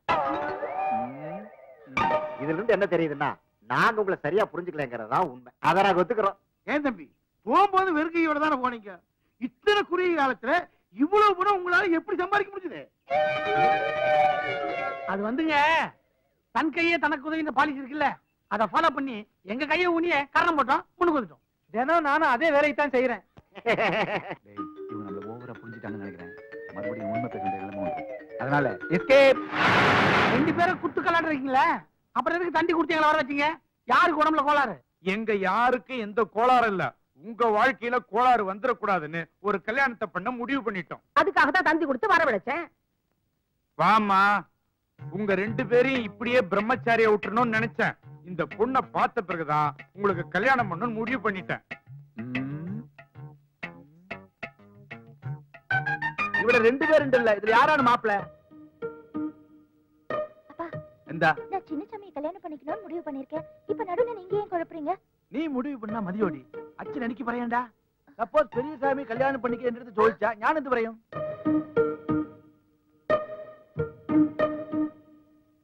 டேய் என்னடா பேசாம நிக்கிறீங்க? எனக்கு ஒண்ணும் ஆச்சரியம் இல்ல பாட்டி. சின்ன சாமியை அந்த பொண்ணை கல்யாணம் பண்ணிட்டோம். என்ன தம்பி சந்தோஷம் தானே? என் நெஞ்சிய தொட்டுட்டேன் அவன் சொல்லிட்டான்ல.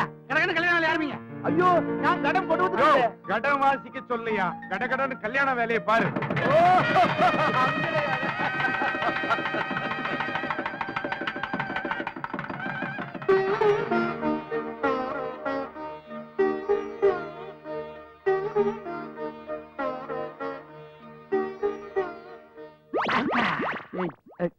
விஷயத்துக்கு போகும்போது நந்தி மாதிரி வந்து குறுக்க நிக்கிறேன். அதை விட முக்கியமான ஒரு விஷயம் உனக்கு சொல்றேன். அந்த பொண்ணை எதுக்கு நான் கல்யாணம் பண்ணல தெரியுமா உனக்கு? ஆமா நானே கேட்கணும்னு நினைச்சேன். நீ என்ன ஆசைப்பட்ட? பார்ட்டிக்கு. எதனா பாட்டுல கோளாரா ஏன் கண்டுக்கின? அதுக்கு ஒரு காரணம் இருக்குடா. இப்ப அவ உண்மையை மட்டும்தான் பேசுவா. நீங்க உண்மை மட்டும்தான் பேசுவீங்களாமே இனிமே நானும் உங்களை மாதிரி உண்மை மட்டும்தான் பேசுவேன். தம்பி இப்ப நம்ம உண்மையே பேசுறதுல செய்யறதெல்லாம் ஃப்ராடு இந்த விஷயம் அந்த பொண்ணுக்கு தெரிஞ்சது? மறுநாளே கம்பி என்ன வேண்டிதான். இத தெரிஞ்சுதான் தம்பி நான் பேக் அடிச்சேன். இப்போ நீ ரிஸ்க்ல மாட்டிட்டு இருக்க கொஞ்சம் ஜாக்கிரதையா தம்பி நான் ஊர் கிளம்புறேன். உள்ள போறதே ரிஸ்க் இவன் சொல்ற ரிஸ்க் நான் யோசிக்கவே இல்லையே. வாழ்க்கையில் ரிஸ்க் எடுத்தா தான் ஜெயிக்க முடியும். கதவை திறந்துடும் இதை சமாளிக்கிறதுலாம் நமக்கு சாதாரண விஷயம். அப்புறம் நீங்க மனசுல என்ன நினைக்கிறீங்கன்னு எனக்கு தெரியும். தெரியுமா? ம். சரி என்ன ஆசீர்வாதம் இதெல்லாம் ஓல்டு ஸ்டைலு ஷேக்கன் கொடு. இது கூட நல்லாதான் இருக்கு. இது மட்டும் இல்ல என்கிட்ட எல்லாமே நல்லா தான் இருக்கும். ஆமா நான் மனசுல நினைச்சதே உனக்கு தெரியும். நீ என்ன தெரியும்? அதுவா? நீங்க பெரிய ஆள் ஆனதுக்கு நீங்க பேசுற உண்மைதான் காரணம்னு சொல்ல வந்தேன். நான் எங்க பெரிய ஆளா இருக்கேன்? நான் உனக்கு இவ்வளவுதானே இருக்கேன்? அடடடடடா, இதுல கூட உண்மையா? அதனால தாங்க எனக்கு உங்களை ரொம்ப பிடிச்சிருக்கு. அதெல்லாம் இருக்கா சீக்கிரம் பால் கொடு. இருங்க இருங்க. ஏன் அவசரப்படுறீங்க? ஆமா முதல் ராத்திரி அன்னைக்கு ஏன் பால் கொடுப்பாங்கன்னு தெரியுமா உங்களுக்கு? தூக்கம் வந்து தூங்கிட கூடாதுல அதுக்கு தான் விடிய விடிய முடிக்கலாம் அதான் இல்ல. இனிமே நம்ம ரெண்டு பேரோட மனசுக்குள்ளாரையும் எந்த ஒளிவு மறைவும் இருக்கக்கூடாது. பால் மாதிரி வெள்ளை வெள்ளையர்னு இருக்கணும். நீங்க எப்படி உண்மையை மட்டும்தான் பேசுவீங்களோ அதே மாதிரி நானும் இனிமே உண்மையை மட்டும்தான் பேச போறேன். இது உங்க மேல சத்தியம்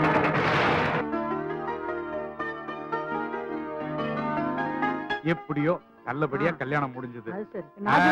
நல்லா இருப்பா நல்லா இரு என்னடா கல்யாணம் முடிஞ்ச மறுநாளே கிளம்பிட்டேன் என் வேலை அப்படி பாட்டி. நான் ரொம்ப பிஸி நீ பிஸியா இருந்து வேலை பண்ணி அனுப்புற பணத்துல தாண்டா இந்த ஊர் பிரச்சனை எல்லாம் கொஞ்சம் கொஞ்சமா குறையுது. நான் அங்க வேலை பாக்குறதால தான் இங்க பிரச்சனை குறையுது. நான் இங்க இருந்து வச்சுக்க பிரச்சனை தான். ஏங்க நானும் உங்க கூட சென்னைக்கு வரேங்க. என்னை ஏங்க கூட்டிட்டு போக மாட்டேங்கிறீங்க? ஏண்டா அப்ப இந்த வீட்டைய கல்யாணம் கட்டிக்கிட்டா?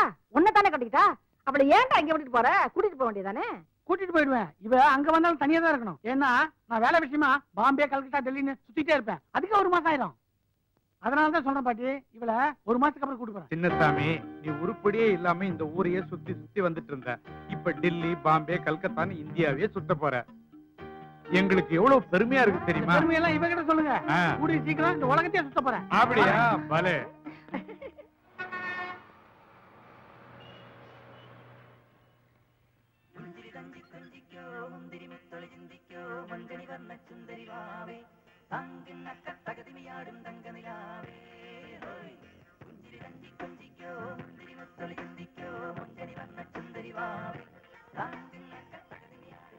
இன்னும் முடியலையா?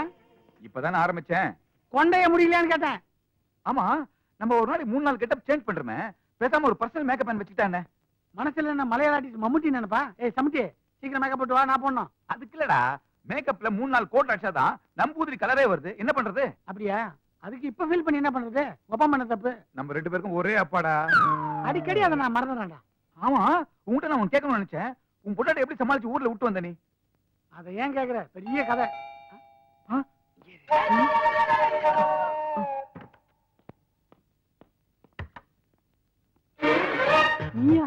என்ன ஆச்சரியமா இருக்கா? உங்களை பிரிஞ்சு ஒரு நாள் கூட என்னால ஊர்ல இருக்க முடியலங்க. அதனால தான் புறப்பட்டு வந்துட்டேன். நீங்க எந்த ஊருக்கு போனாலும் என்னையும் கூட கூட்டிட்டு போங்க. டெல்லி பாம்பே கல்கத்தா இதெல்லாம் நான் பார்த்ததே இல்ல. எனக்கும் பார்க்கணும்னு ஆசையா இருக்கு. கூட்டிட்டு போவீங்கல்ல? அது இருக்கட்டும். ஊர்ல இருந்து நீ மட்டும் தனியாவா வந்த. கண்டக்டர் டிரைவர் பின்ன ஞானும் உண்டாயிருந்தோ. பெண்ணை எங்கன ஒற்றை கைக்கும் வா மோளே நமக்கு உள்ள போ ஒரு கட்டன் ஜாயா மொக்க மொக்க. அப்பா இவ்ளோ பெரிய வீடு. என்னம்மா அது. சொல்லாமங்களா திடீர்னு வந்து நிக்கிறீங்க? அது என்ன மாப்பிள? இப்ப சொல்லுது வந்தாச்சு. ஐயோ நான் எப்படி சமாளிப்பேன் எனக்கு மனசுல ஆயிட்டு இல்ல சாப்பாடுக்கு என்ன பண்றது? ஓ அங்கனு உண்டോ? அதெல்லாம் எங்க அப்பா பாத்துக்காரு இது என்ன பெரிய விஷயம்? வேடிக்கை என்ன மாப்பிள்ள ஞான் சமைக்கா? உன்னை பார்த்தாலே வாந்தி வருது. நீ சமைக்கிறியா? அந்த சாப்பாடை எவன் சாப்பிடுறது? நான் சாப்பிடுறேன். ஏய் தம்பி இன்னைக்கு மினிஸ்டர் அப்பாயின்மெண்ட் இருக்கு. சீக்கிரமா வந்து சேரு. யாராரு நம்ம வீட்டு நம்பூதிரி? நம்புறியாட்டா போட்ட நீ கம்முனரியா யார் அவரு? உங்க காதல வேற ஏதோ ரகசியமா சொல்லிட்டு போறாரு? நம்ம குடும்ப எதிர்காலத்தை பத்தி அவர்கிட்ட டிஸ்கஸ் பண்ணிட்டு இருந்தேன். நீங்க வந்து டிஸ்டர்ப் பண்றீங்க இப்ப அவசரம் வெளியே போறாரு. வந்தவன பேசிக்கலாம். அதே அதே. அவசரமாயிட்டு பொறுத்து போன ஆளு நிறுத்தாம்பா இல்ல. நிறுத்தியா? இவட தானே எனக்கு முக்கியமான வேலை இருக்கு. நான் வெளியே போயிட்டு வந்துறேன் மாப்பிள உங்களதே வெளியே போனு. வீட்ல டாய்லெட் இல்ல. ஆச்சல் தாங்க முடியல. முக்கியமான வேலையா? வெளியே போயிட்டு வந்துறேன் நாங்க ஊர்ல இருந்து வந்திருக்கோம். சந்தோஷமா எங்க கூட ஒரு மணி நேரம் கூட பேச மாட்டீங்களா? ஒரு மணி நேரம் தானே? நாங்க பேசுவோம். மாப்பிள்ள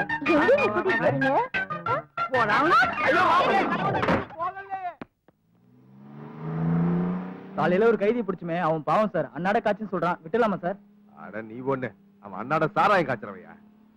ஏயா இந்த தெருவுல ஒரு நம்புதிரி இருக்காராமே அவரை பாத்திருக்கியா ஏன் சார் கேக்குறீங்க? நம்பூர் ஏதாவது ஃப்ராட் பண்ணனா? சொல்லுங்க சார். அடிச்சு எடுத்து வந்துடுறேன். இல்லையா அவர் இந்த ஏரியாலே ரொம்ப ஃபேமஸான ஆளியா? இன்னைக்கு அவர் கிளம்புற டைம் ஆயிடுச்சு. வீட்டுல இருப்பாரா என்னன்னு தெரியல. அவர்கிட்ட அப்பாயின்மெண்ட் கிடைக்கிறது பெரிய விஷயம் சொல்றாங்கய்யா எவ்வளவு பெரிய ஆளா இருந்தா நமக்கு என்ன sir? Minister appointment commissioner appointment இருந்தாலும் கஷ்டம். நம்பர் கிட்ட நான் போய் வேண்டியது சார். யோ இதுதான் நம்பூதிரி வீடு. நீ போய் அவர் இருக்காரான்னு பாத்துட்டு வாயா. சரிங்க சார். என் பொண்டாட்டியை கூட்டு வந்தா பிரச்சனையா இருந்தா ஊர்லயே விட்டு வந்தேன். அவ திடுதிப்புன்னு சொல்லாம கிளம்ப நிக்கிறா அட அவன் மட்டும் வந்தா பரவாயில்லப்பா. அவங்க அப்பனையும் சேர்த்துல அழைச்சிட்டு வந்திருக்கா. இப்ப அவங்க எப்படி சமாளிக்க போறேன்? சின்னசாமி பெரியசாமி மாதிரி இருக்க. அங்க கவனிச்சியாடா? நம்ம ஊர் இன்ஸ்பெக்டர். இது அவனுங்களே தான் இங்க என்ன பண்ணிட்டு இருக்கானுங்க இன்னைக்கு மாட்டினானுங்க. என்ன விட்டு போறீங்களே? சீக்கிரம் ஏரியா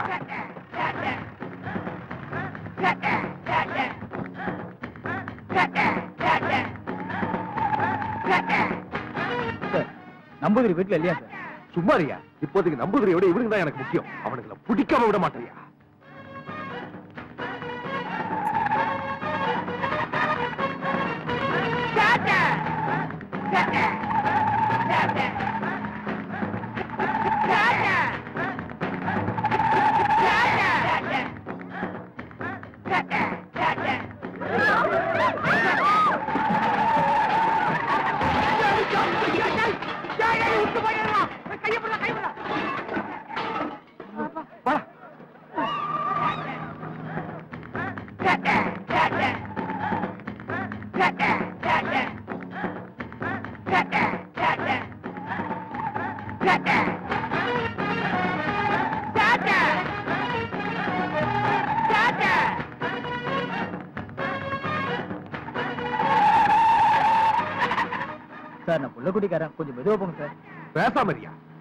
மெதுவா பொங்கன்னு சொல்லி என் வெறிய குறைச்சிடாத. கட்டிங்க போட்டு கட் பண்ணி கட் பண்ணி ஓட்டு வரான் என்ன நடக்க போதோ கடவுளே என்னை காப்பாத்தணும்.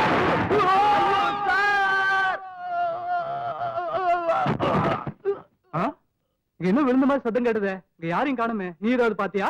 அது ஒண்ணும் இல்ல. மரத்துல தேங்காய் விழுந்திருக்கும். வாங்க.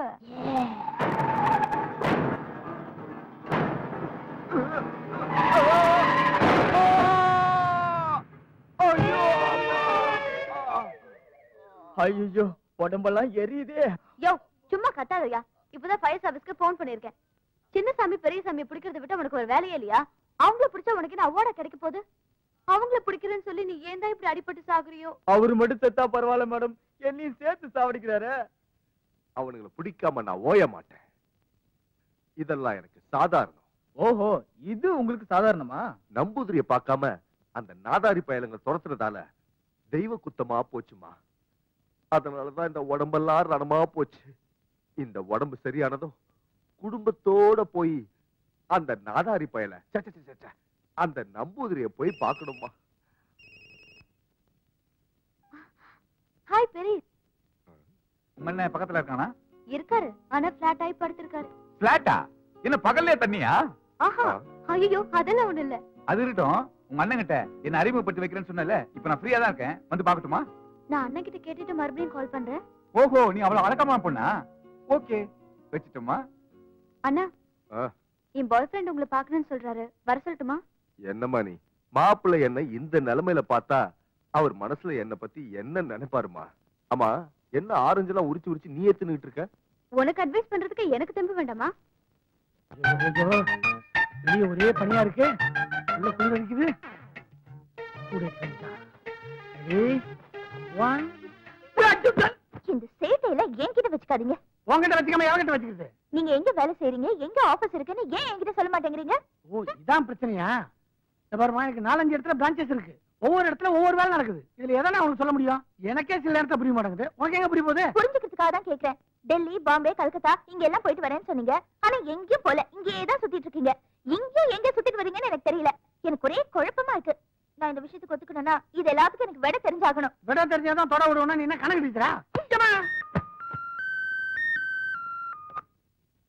ஹலோ? டாக்டர் பஞ்சபூதம் இருக்காருங்களா? ஸ்பீக்கிங் நீங்க சொன்ன மாதிரி நான் மல்டி ஸ்டைல்ல ட்ரை பண்ணேன் சார். என் பொண்டாட்டி எதுக்கும் மசிய மாட்டா வேற ஏதாவது ஐடியா இருந்தா கொடுங்களேன். அது தெரியாம தான் நானே டென்ஷன்ல இருக்கேன். முயற்சியை தொடரு.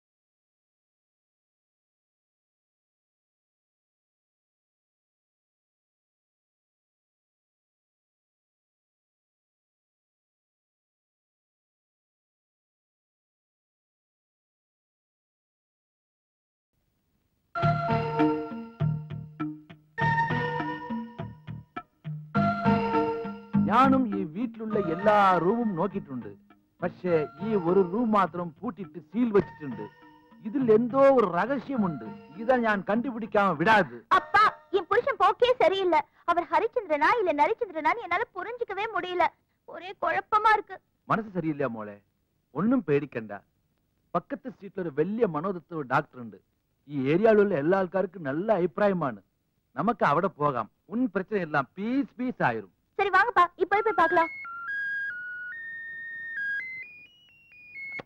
ஹலோ. ஹலோ நாகராஜ் குருக்கள் இருக்காருங்களா? இது குருக்கள் வீடு இல்லைங்க. ராங் நம்பர் இது double two double three double eight double nine தானுங்க. ஆமா.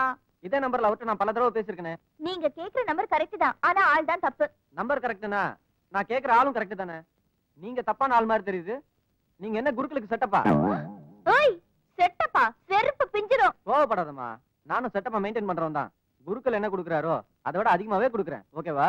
டேய் நீ சரியான ஆம்பளையா இருந்தா நேர்ல வாட வச்சுக்கிறேன் டேய் வெயிடா போனே ராங் நம்பர் தானே இ போன்ல வரணும்ண்டு இந்த போனையே என்னால புரிஞ்சுக்க முடியலப்பா. நீ கவலைப்படாத மோளே. இ பிரச்சனையை நம்ம டாக்டர் கிட்ட தானே கேட்டு தெரிஞ்சுக்கலாம். நெக்ஸ்ட் டேய் அங்க பாரு யார் வரானு ஐயோ இவங்க எங்க இங்க வராங்க? டேய் என்ன பண்றது? டேய் இதோ பேச சமாளி. பேச சமாளிடா. ஹலோ? பத்து லட்சமா? ஒரு கோடி கொடுத்தாலும் சரி. வெளிநாட்டுக்காரங்க நான் வைத்தியம் பார்க்க மாட்டேன். என்னுடைய லட்சியமே தமிழ்நாட்டில் இருக்கிறவங்க மட்டும்தான் வைத்தியம் பார்ப்பேன். Sorry sorry I am busy உட்காருங்க. சாரு சொல்லுங்க. எனக்கு ஒரு சம்சயமான நீங்கள ரெண்டு ஆள்கார்ல யாரானு சத்தியமாட்டு டாக்டர் நாங்க ரெண்டு பேரும் டாக்டர்ஸ் தான். எங்கண்ணே? சங்கர் கணேஷ் இல்லையா? விஸ்வநாத ராமூர்த்தி இல்லையா?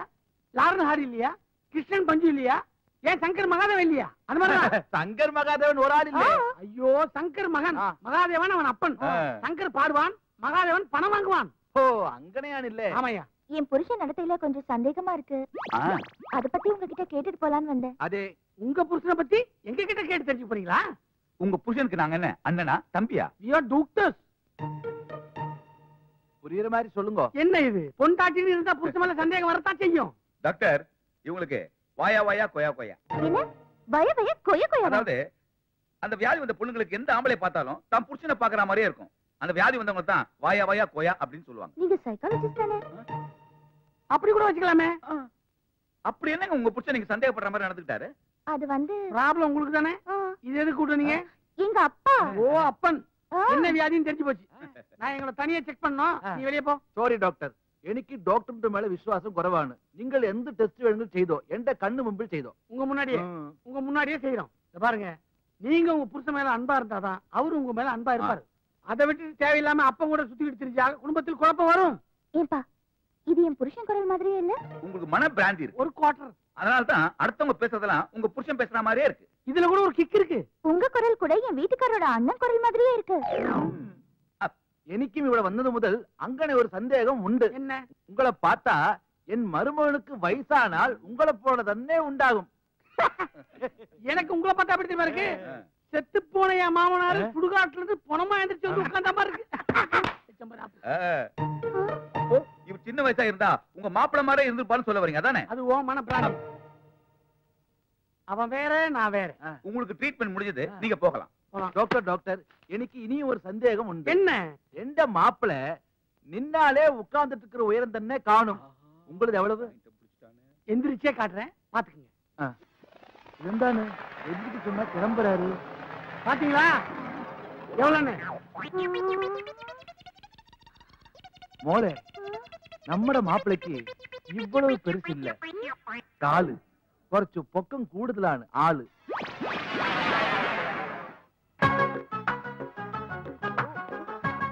உங்களை சீக்கிரமா தானே வர சொன்னேன்? இவ்வளவு நேரமா எங்க போனீங்க? எதுக்கு அவசரமா வர சொன்னேன்? கொள்ள இருக்குதா? கொள்ளையடிக்குவா பேங்க்ல கொள்ளையடிக்கிறோட உழந்துட்டேன் நீ. பேங்க்ல இல்ல எங்க டாடி கிட்ட. அதுதான் டூப்ளிகேட் பீரோ சாவி போட்டு கொடுத்தேன் அதுக்குள்ள பீரோவே காலி பண்ணிட்டியா? என்கிட்ட டூப்ளிகேட் சாவி இருக்குன்னு தெரிஞ்சு இப்ப அப்பா பீரோக்குள்ள பணமே வைக்கிறது இல்ல. சரி விஷயத்த சொல்லு. இப்ப கொள்ளையடிக்கிற அளவுக்கு உனக்கு என்ன தலைப்புற செலவு? இப்ப செலவழிக்கிறதுக்காக இல்ல. ஏற்கனவே வாங்கின கடனை கொடுக்கணும். கடனை வாங்கி ஊதார்த்தமா செலவு பண்ணிட்டு இருக்கியா எவ்வளவு கடன் இருக்கு? வட்டியோட சேர்த்து இருபத்தஞ்சாயிரம் இருக்கு. கந்து வட்டி கொடுத்தவன் பயங்கர நெருக்கடி பண்றான். எங்க டாடி இப்போ 50000 ரூபாய் பணத்தை டிராப் பண்ணி பிரீஃப் கேஸ்ல எடுத்துட்டு வராரு. அத நீங்க அடிக்கிறதுக்கு நான் ஹெல்ப் பண்றேன். ஆளுக்கு பாதி பாதி பங்கு போட்டுக்கலாம். ஆளுக்கு பாதி பாதியா? பப்ளிக் கிட்ட மாட்டின டின்னு கட்டிடுவாங்க ஞாபகத்துல வச்சுக்கோ. அதெல்லாம் நான் பாத்துக்கிறேன். அப்பா வர டைம் ஆச்சு. சீக்கிரம் துணியை கட்டுங்க. துணியை கட்டுறதா? ஐயோ நான் அத சொல்லல. இத கட்டி உங்க மூஞ்சில அத கட்டுங்க சொல்லு. என்னம்மா ஏதோ பிளான் இருக்க மாதிரி இருக்கு? டாடி பணம்லாம் டிராப் பண்ணிட்டீங்களா. பொட்டி கொடுங்க டாடி நான் தூக்கிட்டு வரேன். வேண்டாம் வேண்டாம் நானே எடுத்துக்கிறேன். இந்த கார் வரைக்கும் தூக்கிட்டு வரேன்னா நம்ப மாட்டீங்களா? நம்பவே மாட்டேன். பெத்த பொண்ணு நம்பலன்னா வேற யார டாடி நம்புவீங்க? ப்ளீஸ் டாடி அதுக்கு இல்லம்மா இதுல நிறைய பணம் இருக்குமா? Please daddy? கொடுங்க டாடி ரொம்ப கெட்டு போய் கிடக்குதுமா குட்டி ஜாக்கிரதை.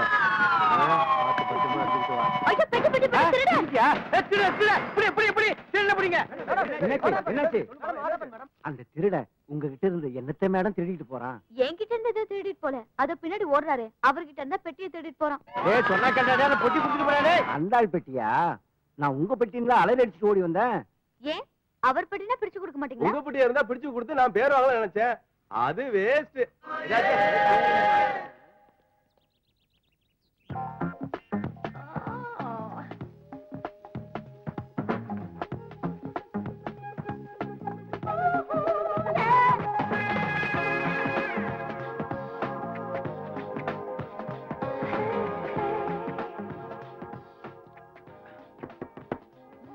யாரு? நாதான் பெரிஸ் வந்துக்க பெரிஸ். நீங்களா? கதவு பூட்டி இருந்தது எப்படி வந்தீங்க? அம்மா இந்தியாவுல இருக்கிற எல்லா பூட்டுக்கும் என்கிட்ட சாவி இருக்குமா? கதவை தர. உள்ள வரட்டுமா? நீங்க அங்கேயே இருங்க நான் வந்துடுறேன். பேசாம சொல்லாம கொள்ளாம உள்ள பூந்துருக்கலாம். சரி எப்படி இங்க வரதான செய்ய போறா?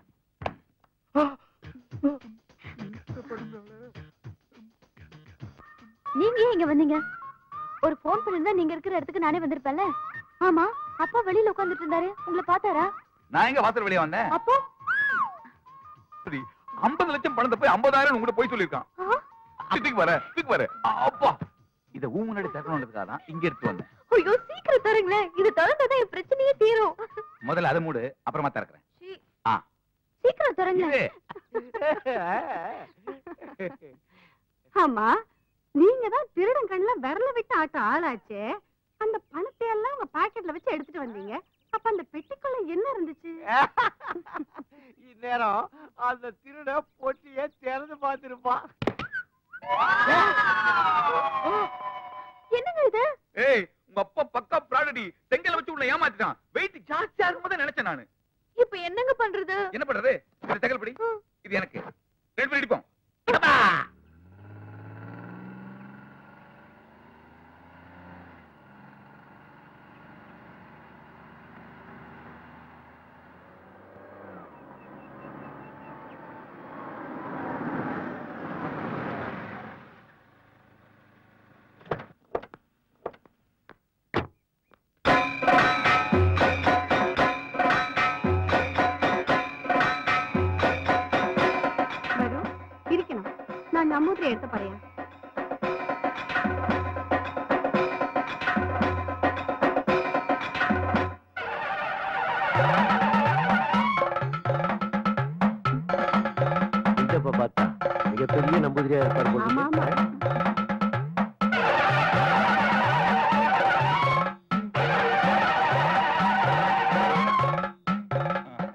கொக்கரக்கோ குமாங்கோ கோய கோமவா ஆ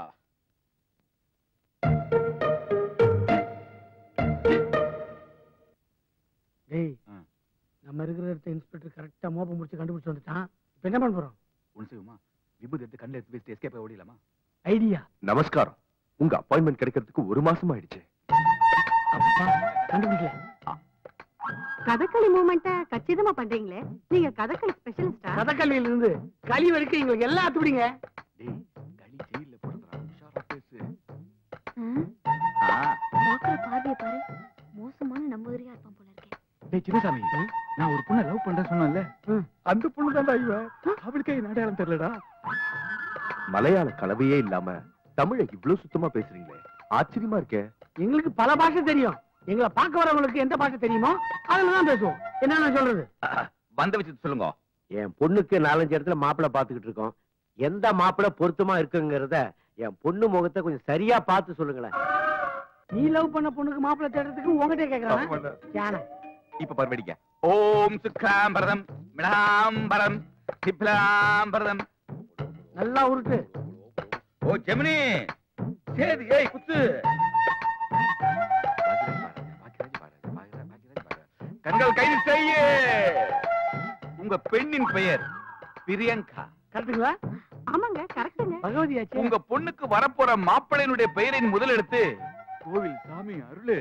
பே கடைசி எழுத்து நீ. அதாவது பே நீ. என்ன ஜெயிலுக்கு போறது காரணம் பிரியா நீயே வாயால மாட்டிக்காத. அவனுக்கு அந்த அளவுக்கு மூளை இல்லடா. உன் மச்சான் இல்ல? பே நீ. பெப்பே காமி. இப்படி யாரும் பேர் வைக்க மாட்டாங்களே. ரொம்ப குழப்பமா இருக்குதே. ஆனா ரொம்ப நல்லவன். ஆனா பாக்குறதுக்கு கொஞ்சம் திருட மாதிரி இருப்பான் அவன் தான் அவங்க பொண்ணு கரெக்டான மாப்பிள. இவங்க ரெண்டு பேரும் ஏற்கனவே பழகிருப்பாங்களே பட்டி சொல்லுதே. உங்க பொண்ணுக்கு இப்ப கல்யாணம் நடக்கிறதுக்கு இது நல்ல நேரமா கெட்ட நேரமாங்கறத இப்ப கோலி விளையாட்டு சொல்லிடுறேன். மூணு என்ற வரைக்கும் டைட்டா கண்ண முடுங்க. ஒண்ணு இடிக்காத. ரெண்டு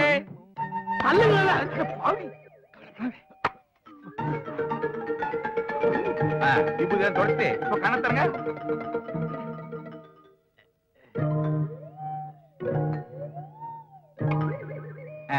இப்ப நல்ல நேரம் தான். போங்க. சுவாமி எனக்கு ஒரு ஆப்ளிகேஷன் இருக்கு. உனக்கு என்ன அப்ளிகேஷனு சின்ன சாமி பெரிய சாமி. அவங்க ரெண்டு பேரும் ரொம்ப நாளா என் கையில மாட்டாம டிமிக்கி கொடுத்துக்கிட்டு இருக்காங்க. அவங்க என் கையில மாட்டுவாங்களா? என் முகத்தை பார்த்து சொல்லுவீங்களா? ஏண்டா? எங்களை பிடிக்க எங்க கிட்ட ஐடியா கேக்குறியா? கிடைக்கவே மாட்டாங்க. இனிமேலும் அவங்க உங்களை தண்ணி குடிக்க வைப்பாங்க.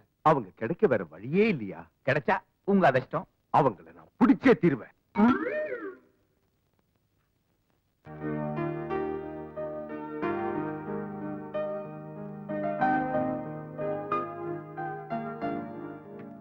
என்னப்பா?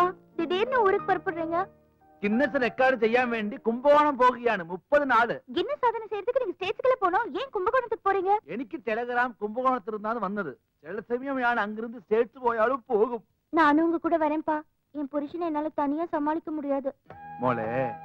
அச்சன் எப்பவும் தண்டை இருக்க முடியாது நீதான் உண்ட புருஷனை கொஞ்சம் பக்குவமாய் சமாளிக்கணும் அச்சன் எனக்குன்னு சில லட்சியங்கள் உண்டல்ல பின்ன மாப்பிள்ள சம்பாதிக்கிற எல்லா பைசையும் ஆ ஊர்க்காரருக்கு தானமாயிட்டு கொடுக்கணும் கடைசியில நினைக்கும் என்ற குடும்பத்துக்கும் ஒரு பைசா இல்லாது போகும் கேட்டோ? மோளை ஞான் புறப்பட்டேன் எனக்கு பஸ்ன்னு சமயாயி.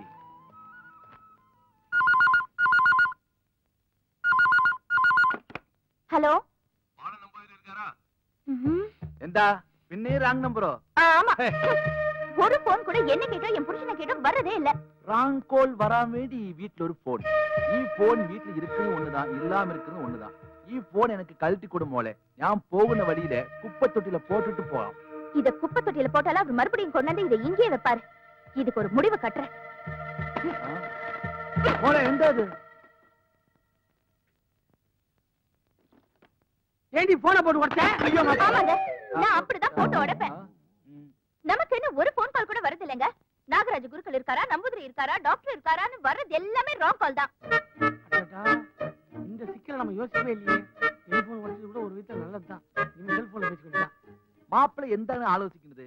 ராங் கால் அட்டன் செய்யான ஒரு போன் ஆவசியமோ இல்லே. இதுதான் ஞான் என்று மோள எடுத்து பறஞ்சது. அப்போ ஞான் கிண்ண சக்காரி ஞான் போட்டேன். மோளே ஒரு மினிட்டல்லோ அப்ப ஞான் போட்டேன். சரிப்பா. மாப்பிள்ள வரட்டேன். கிண்ணஸ் சக்சஸ் இன்னிஸ் ரெக்கார்ட் பண்ண போற? கும்பகோணத்துல ஏன் ஆள் தான் கூட்டு போறான்? அவன் தான் ரெக்கார்ட் பண்ண போறான். ஒரு மாசத்துக்கு கண்டினியூஸா கடன் வச்சா ரெண்டு மாசத்துக்கு ஹாஸ்பிட்டல் அட்மிட் மூணு மாசத்துக்கு உன் தொல்லையே கிடையாது. இதுதான் உனக்கு என்ன ரெக்கார்டு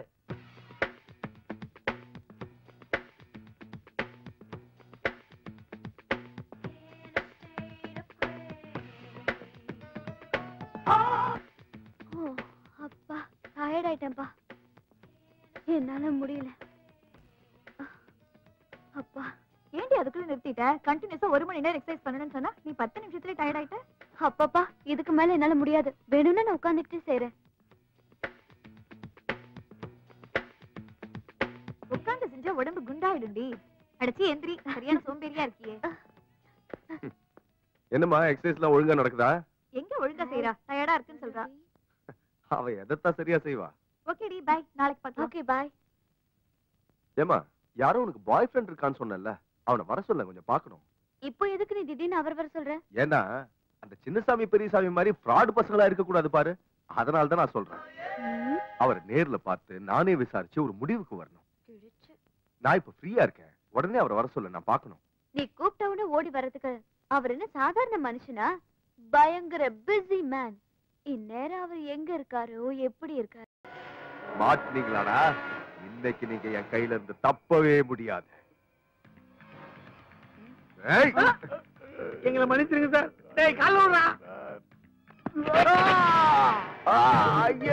காலை வாரிட்டானுங்களே. நீ ஏன் காலை அவங்க கிட்ட கொடுத்த? நான் எங்க காலை கொடுத்தேன்? அவனுக்கு தான் மன்னிப்பு கேட்கிறேன்னு சொல்லி என் காலை வாரி விட்டுட்டானுங்க. அந்த நம்பூதிரி சொன்னது சரியாதான் போச்சு. நீ அவங்கள பிடிக்கவே முடியாது. புடிச்சு காட்டுறேன். இதெல்லாம் போலீஸ்காரங்களுக்கு வீர தழும்பு. ஆமா ஒரு எலும்பு கூட பாக்கி இல்ல எல்லாம் உடைஞ்சு போச்சுன்னு டாக்டர் சொல்லிட்டு போறாரு. நீ என்னடானா வீரத்தழும்ப பத்தி பேசிக்கிட்டு இருக்க. இனிமேலாவது அவங்கள கண்ட ஒதுங்கி போ. என் கடைசி சொட்டு ரத்தம் இருக்கிற வரைக்கும் நான் ஓயவே மாட்டேன். உன் உடம்புல எது ரத்தம்? உனக்கு ஏறிட்டு இருக்கிறதே இன்னொருத்தரோட ரத்தம். என்னடா இது? இந்த வண்டியை காணணும் தான் போலீஸ் ஸ்டேஷன் போய் கம்ப்ளைண்ட் கொடுத்துட்டு வரேன். அதுக்குள்ள இங்க வந்து நிக்குது. ஒருவேளை திருட்டு உனக்கு வண்டி பிடிக்கலையோ?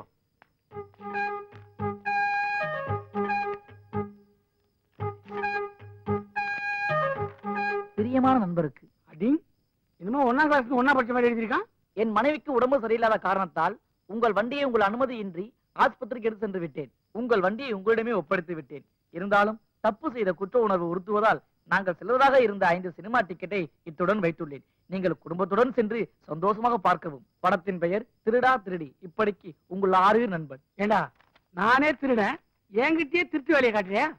நாங்க குடும்பத்தோட சினிமாவுக்கு போயிருவோமா? இவர் நோவாம வந்து வீட்டுல இருக்கிறதெல்லாம் தட்டிட்டு போயிடுவாராம். வாடி பா சுந்தரி. சுந்தரி.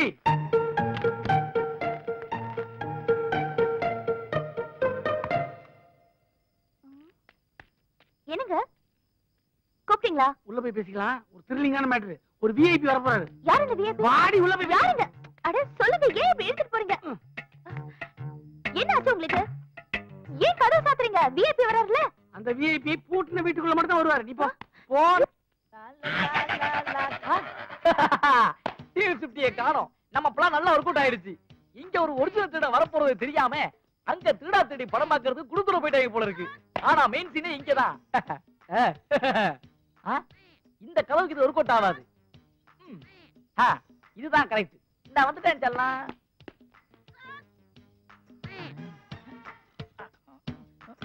ஆ.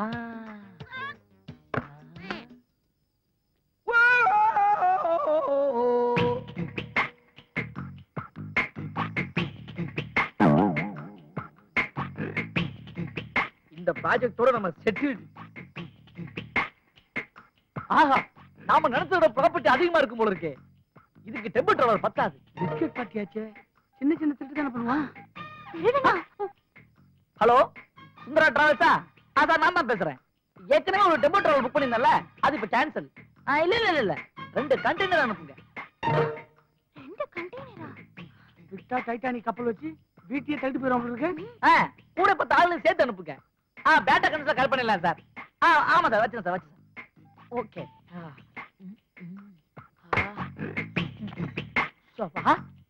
டேப் இருக்காரு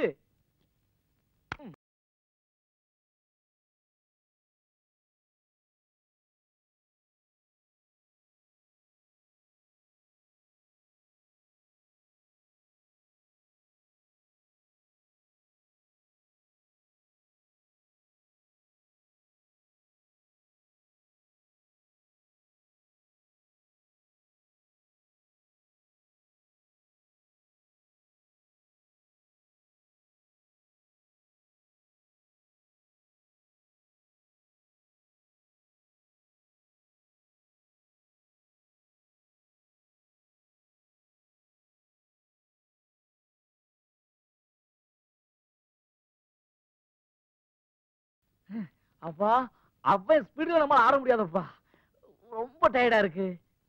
ஆ? ஆஹா டேபிள்ல சாப்பாடு ரெடியா இருக்கு போல இருக்கே. கண்டென்ட் வர்றதுக்கு இன்னும் ஒன் ஹவர் ஆகும். அதுக்குள்ள சாப்பிட்டு தெம்பாயிடலாம். ஆ.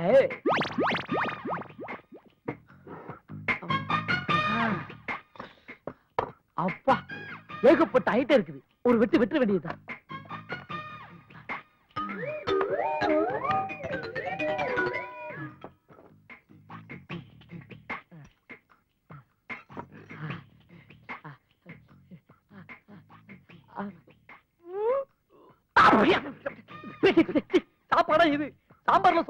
கிடையாது எனக்கு மட்டும் இப்படி ஒரு பொண்டாட்டி அமைஞ்சா தூக்கி போட்டு நாலு மிதி நாலு சாத்து. பாவி கொள்ளையில போறவனே. இந்த வீட்டு ஆம்பளை எப்படி சைத்தியாரம் தெரியலையே. ஆஹா பெரிய திறமசாலி தான் போல இருக்கு. என் புருஷனையும் சாப்பாட்டை குறை சொன்னதில்ல. போட்டதை தின்னுட்டு கிடக்குறாரு. திருட வந்த நாய் சாப்பாட்டை குறை சொல்றியா? அவனுக்கு இருக்கிற தைரியம் எனக்கு எல்லாம் போச்சு. இருங்க அவனை பொழந்துடுறேன் சரி வேற எது நல்லா இருக்குன்னு பாப்போம்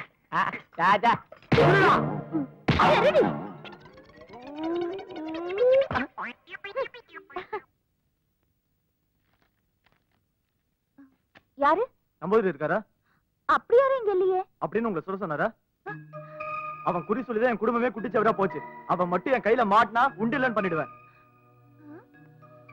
எவனோ வரா சம்பந்தம் இல்லாம திட்டிட்டு போறான் எல்லாம் ஒரே குழப்பமா இருக்கு.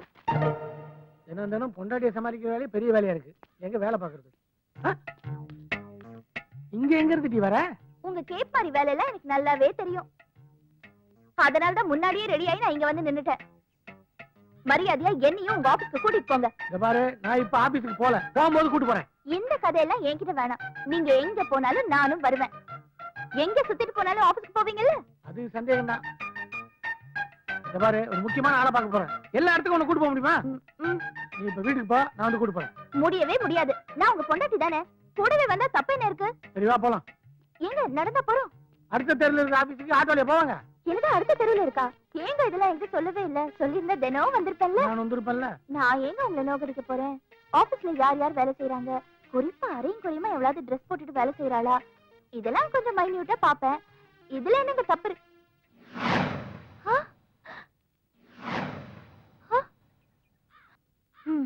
ஆபீஸ்க்கு கூட்டிட்டு போறேன்னு சொல்லிட்டு நடு தெருவுல விட்டுட்டு போயிட்டாரு.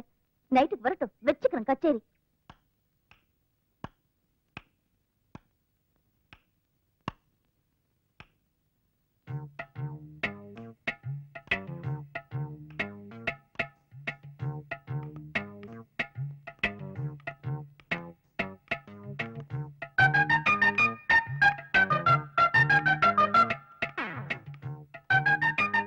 ஏண்டி லைட்ட போட்டு போட்டு அணைக்கிறேன் ம், போடுறதா அணைக்கிறதான்னு தெரியல அதான்.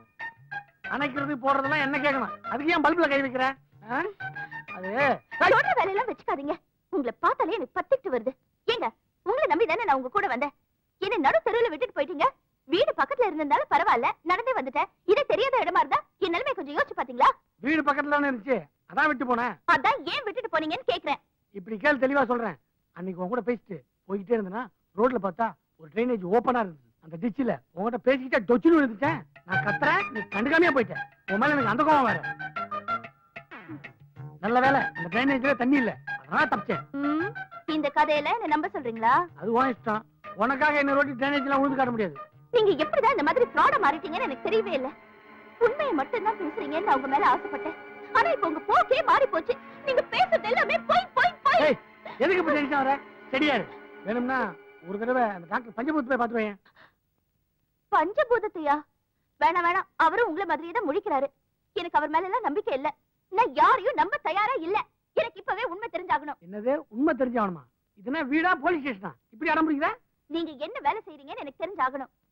நீங்க சொல்லலைன்னா நானே தெரிஞ்சுப்பேன். நீயே தெரிஞ்சுக்கியா எப்படி? இந்த வீட்ல பூட்டு போட்டு சீல் வச்சிருக்கல ஒரு ரூம். அதை உடைச்சா எல்லா உண்மையும் தெரிஞ்சு நேரங்காலம் வரட்டும் நானே துரத்து காட்டுறேன். அது வரைக்கும் என்னால பொறுக்க முடியாது. பொறுக்க முடியாதா? இருடி.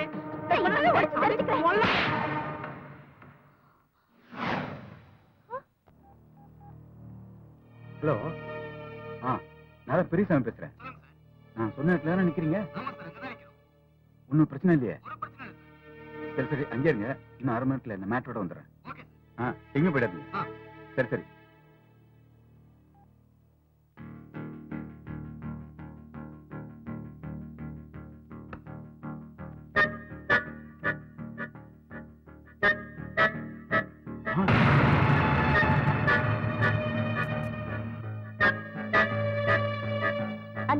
எடுத்துட்டு போறீங்க? ஒண்ணு இல்ல. ஒரு முக்கியமான விஷயமா வெளியே போறேன். நான் வந்து சொல்றேன். என்ன முக்கியமான விஷயமா இருந்தாலும் இப்ப என்கிட்ட சொல்லிட்டு போங்க. இல்ல அது வந்து என்ன அது வந்து இது வந்து பேசிட்டு இருக்கீங்க? நான் கேக்குறது நான் சொல்றது கேளு. பையில என்ன நான் சொல்றது கேளுமா?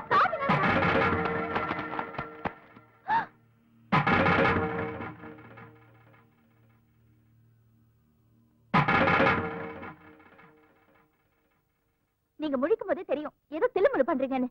தெல்லு முழுலாம் இல்லம்மா. ஒரு நல்ல விஷயத்துக்காக தான் இதெல்லாம் எது நல்ல விஷயம்?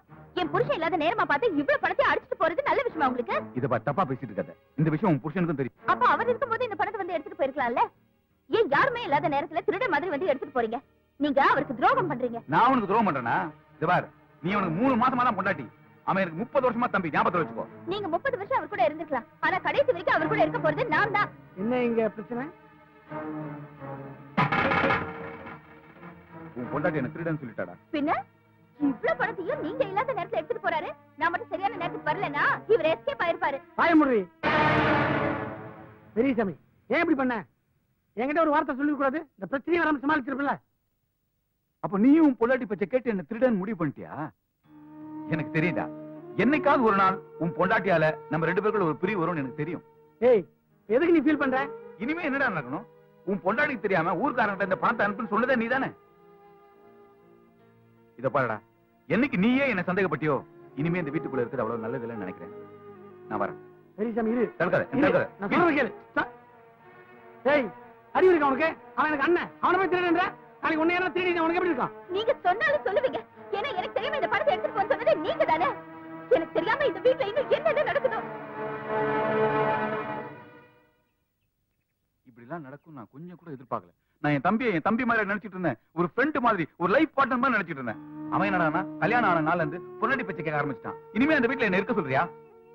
அவர் பண்ணதுல என்னங்க தப்பு இருக்கு? புருஷன்னா பொண்டாட்டி பேச்சு கேட்டுதான் ஆகணும். நாளைக்கு நமக்கு கல்யாணம் ஆனா என் பேச்சு நீங்க கேட்டுதானே ஆகணும்? நான் உன் பேச்சை கேட்கறது இருக்கட்டும். எனக்கு நீ எல்லா விஷயத்திலயும் எனக்கு லைஃப் பார்ட்னரா இருப்பியா? இதுல என்னங்க சந்தேகம்? இனிமே உங்களுக்கு எல்லாமே நான் தான் ஆமா உங்களுக்கு தம்பி இருக்கிற விஷயம் இது வரைக்கும் என்கிட்ட சொல்லவே இல்ல. இப்ப அவர் எங்க இருக்காரு? நம்பர் பத்து பிள்ளையார் கோயில் தெரு கே கே நகர். அவர் பேர் என்ன? நான் சொல்றேன். அவன் சின்னசாமி இந்த கேடி பெரிய சாமி sir sir sir. Sir sir sir sir. இந்த கை இரும்பு கைடா? இரும்புடியா?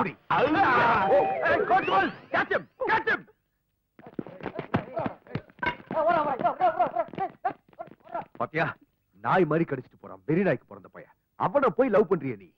நம்பர் பத்து கே கே நகர் பிள்ளையார் கோயில் தெரு. அங்கதான் அந்த சின்னசாமி இருக்கானா அவனை நான் தூக்குவேன்.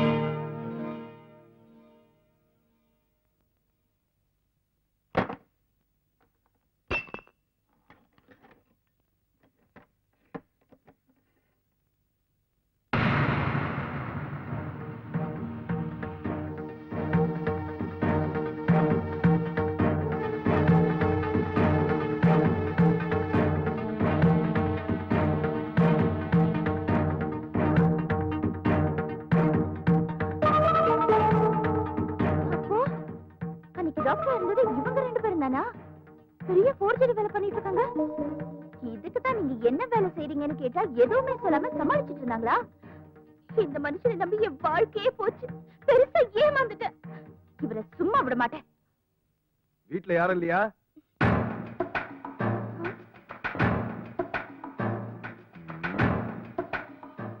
சின்னசாமி இருக்காரா? இல்ல. அவர் எதுக்கு நீங்க கேக்குறீங்க? அவார்டு கொடுக்கறதுக்கு தான். ஆமா நீங்க யாரு? அவரோட மனைவி. சின்னசாமி இப்ப எங்க இருக்காரு? அவர் இப்ப சின்ன சாமியாவே இல்லங்க. டாக்டர் பஞ்சபுதமா இருக்காரு நாகராஜ குருக்களா இருக்காரு நம்பூதிரியா இருக்காரு. அவர் என்ன நல்லா ஏமாத்திட்டாருங்கிறதுக்காகவா நீங்க அவருக்கு அவார்ட் கொடுக்க போறீங்க? இன்ஸ்பெக்டர்? இன்ஸ்பெக்டர்? நான் சொன்ன அந்த மிட் நைட் ரெண்டு மணில இருந்து நாலு மணி ட்ரீட்மெண்ட் உங்களுக்கு ஒர்க் அவுட் ஆயிருக்குமே? ஆமா டாக்டர். நீங்க கொடுத்த ட்ரீட்மெண்ட்டை ஃபாலோ பண்ணனால தான் என் மனைவி கர்ப்பமா இருக்கா? உங்களை மாதிரி ஆள்லாம் சந்தோஷமா இருக்கணும் தான் இந்த டாக்டர் தொழிலே நான் கையில எடுத்திருக்கேன். டாக்டர் இவ்வளவு விவரமா ட்ரீட்மெண்ட் பண்றீங்களே? நீங்க படிச்சது இந்தியாவுல வெளிநாட்டுலயா? அவன் எங்க படிச்சாலும் நான் சொல்றேன். நான் கொடுக்கிற ட்ரீட்மெண்ட்ல அவன் படிச்சது இந்தியாலயா வெளிநாட்டியா அவனை கக்க போறான்.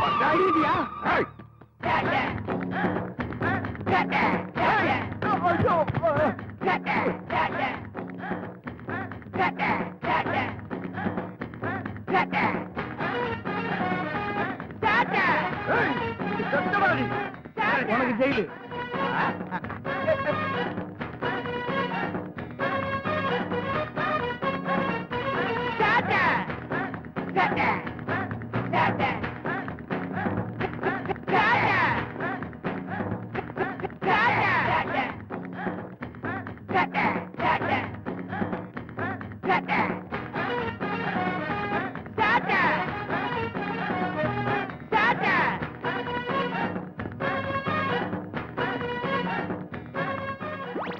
அறிவு கட்ட அண்ணா இவ்வளவு ஒன்னாலதான் எல்லாம் உன்னால வந்துட்டா உன்னாலதான் வந்தது. போடா போய் போய்.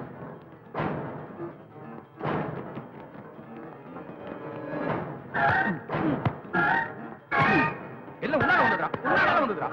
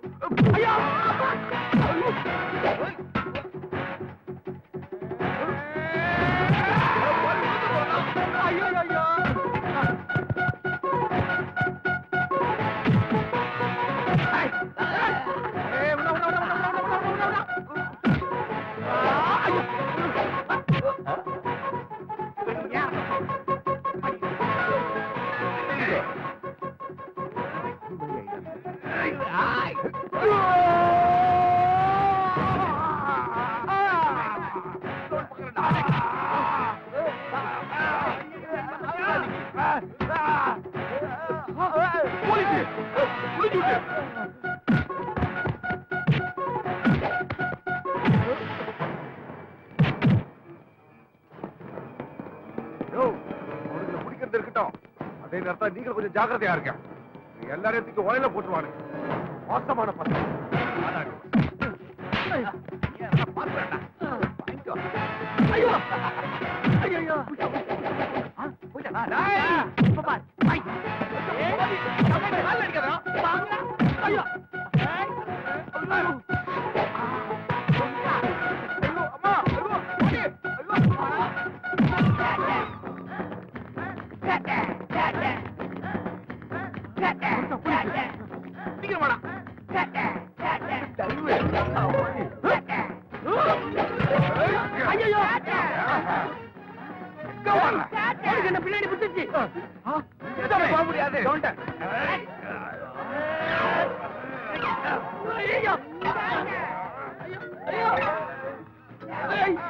பால் கடல்ல கடையிற மாதிரி கிடையாதீங்க கால்ல கொஞ்சம் கடத்தி விடுறா. போது ஐடியா கூட மரியாதை கொடு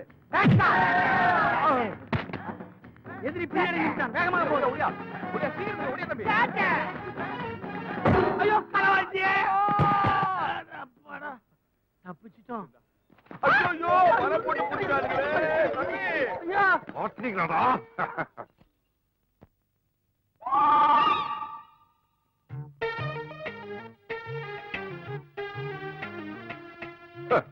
எத்தனை நாளா எனக்கு தண்ணி காட்டுனீங்க? இப்ப மாட்டீங்களாடா போலீஸ்காரன்னா அவளை இளக்காரமா போச்சா? பாக்குறதுக்கு தான்டா நான் போலீஸ்.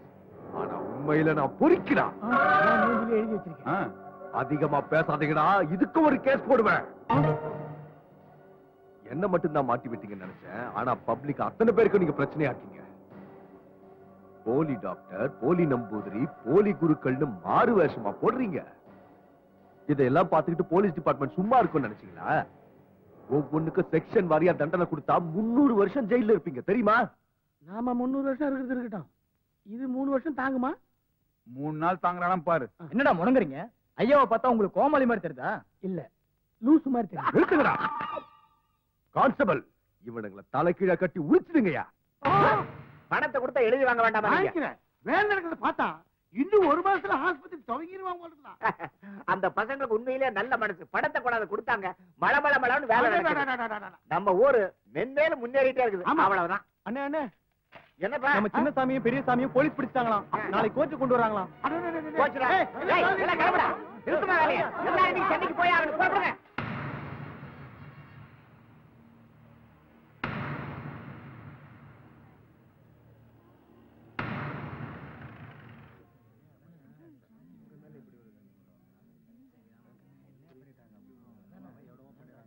ஆர்டர் ஆர்டர் இந்த குற்றத்தை நீங்க ஒத்துக்கிறீங்களா? ஒத்துக்கிறோம். பொதுமக்களை ஏமாத்தி சம்பாதிச்ச பணத்தை உங்க ஊர் நன்மைக்கு அனுப்புனதா இவங்க சொல்றாங்க. அது உண்மையா? உண்மைதாயா அந்த பணத்தை வச்சுதான் எங்க ஊருக்கு ஒரு பள்ளிக்கூடம் கட்டு பஸ் வர்றதுக்கு ரோடு போடணும் வாட்டர் டேங்க் கட்டணும் இப்போ ஒரு பெரிய ஆஸ்பத்திரி ஒண்ணு கட்டிட்டு இருக்கிறோம். ஐம்பது வருஷமா அரசியல்வாதிகள் செய்து கொடுக்காத அடிப்படை தேவைகள் எல்லாம் ஒரே வருஷத்துல இவங்களால எங்களுக்கு கிடைச்சிருக்கு. ஐயா இவங்க ரெண்டு பேரும் காரு உல்லாச பங்களா எஸ்டேட்னு அவங்க ஆடம்பர வாழ்க்கை வாழ்ந்தது இல்லைங்க. அவங்க சம்பாதிச்ச பணம் அத்தனையும் ஊர் மக்களாகிய நாங்க தான் அனுபவிச்சுட்டு இருக்கோம். தவறான வழியில சம்பாதிச்ச பணத்தை தான் எங்க ஊரு நன்மைக்காக அனுப்பி வச்சிருக்காங்கங்கிற விஷயமே எங்களுக்கு இப்பதாயா தெரிய வருது. இருந்தாலும் அவங்க பரம்பரை திருட இல்லையா?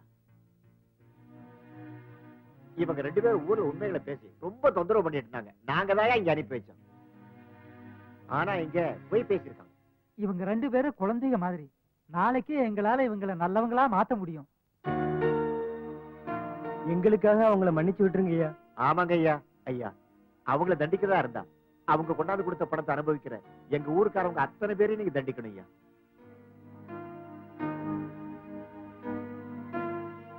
இவங்க சேட்டையால ஒரு கிராமமே முன்னேறி இருப்பது நல்ல விஷயம்தான்.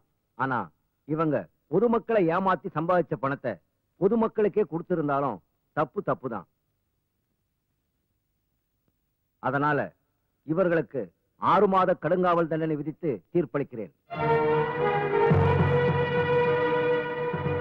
மேலும் இந்த மாதிரியான செயல்களில் ஈடுபட்டால் கடுமையான தண்டனை வழங்கப்படும் என எச்சரிக்கிறேன்.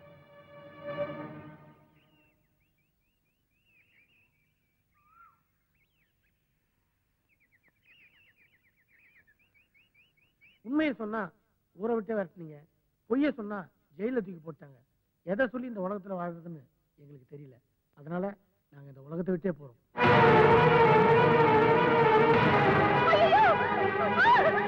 என்ன?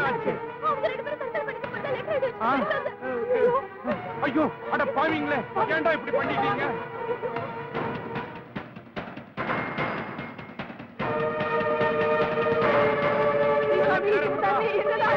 ஏன்டா?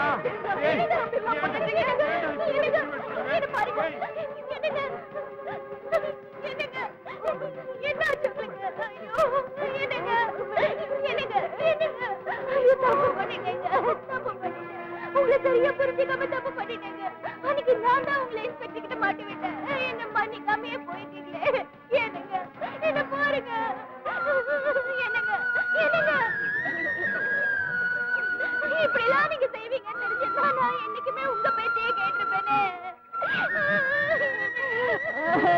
ராசா ராசா. என்ன அவசரப்பட்டு இப்படி பண்ணிட்டீங்களே நான் என்னடா நான் என்னடா குறை வச்சேன் எதுவா இருந்தாலும் ஏன்ட்டு சொல்லக்கூடாதா ராசாக்கா? நான் நிறைவேற்றி வைக்க மாட்டேனா? நான் நிறைவேற்றி வைக்க மாட்டேனா? நெஞ்சிலேயே இந்த இடி அடிக்கிறிய ஏதாவது ஆயிர போகுது என்னப்பாடி இந்த அடி அடிக்கிற? அடிச்சே கொண்டுட போல இருக்க. அப்ப நீங்க சாகலையா? அட பாருங்களா நீ என்ன சாகலையா? டேய் இதுலயும் ஃப்ராடா சேட்டக்கார பசங்களா? உங்களை நானே அடிச்சு கொண்டுறேன்டா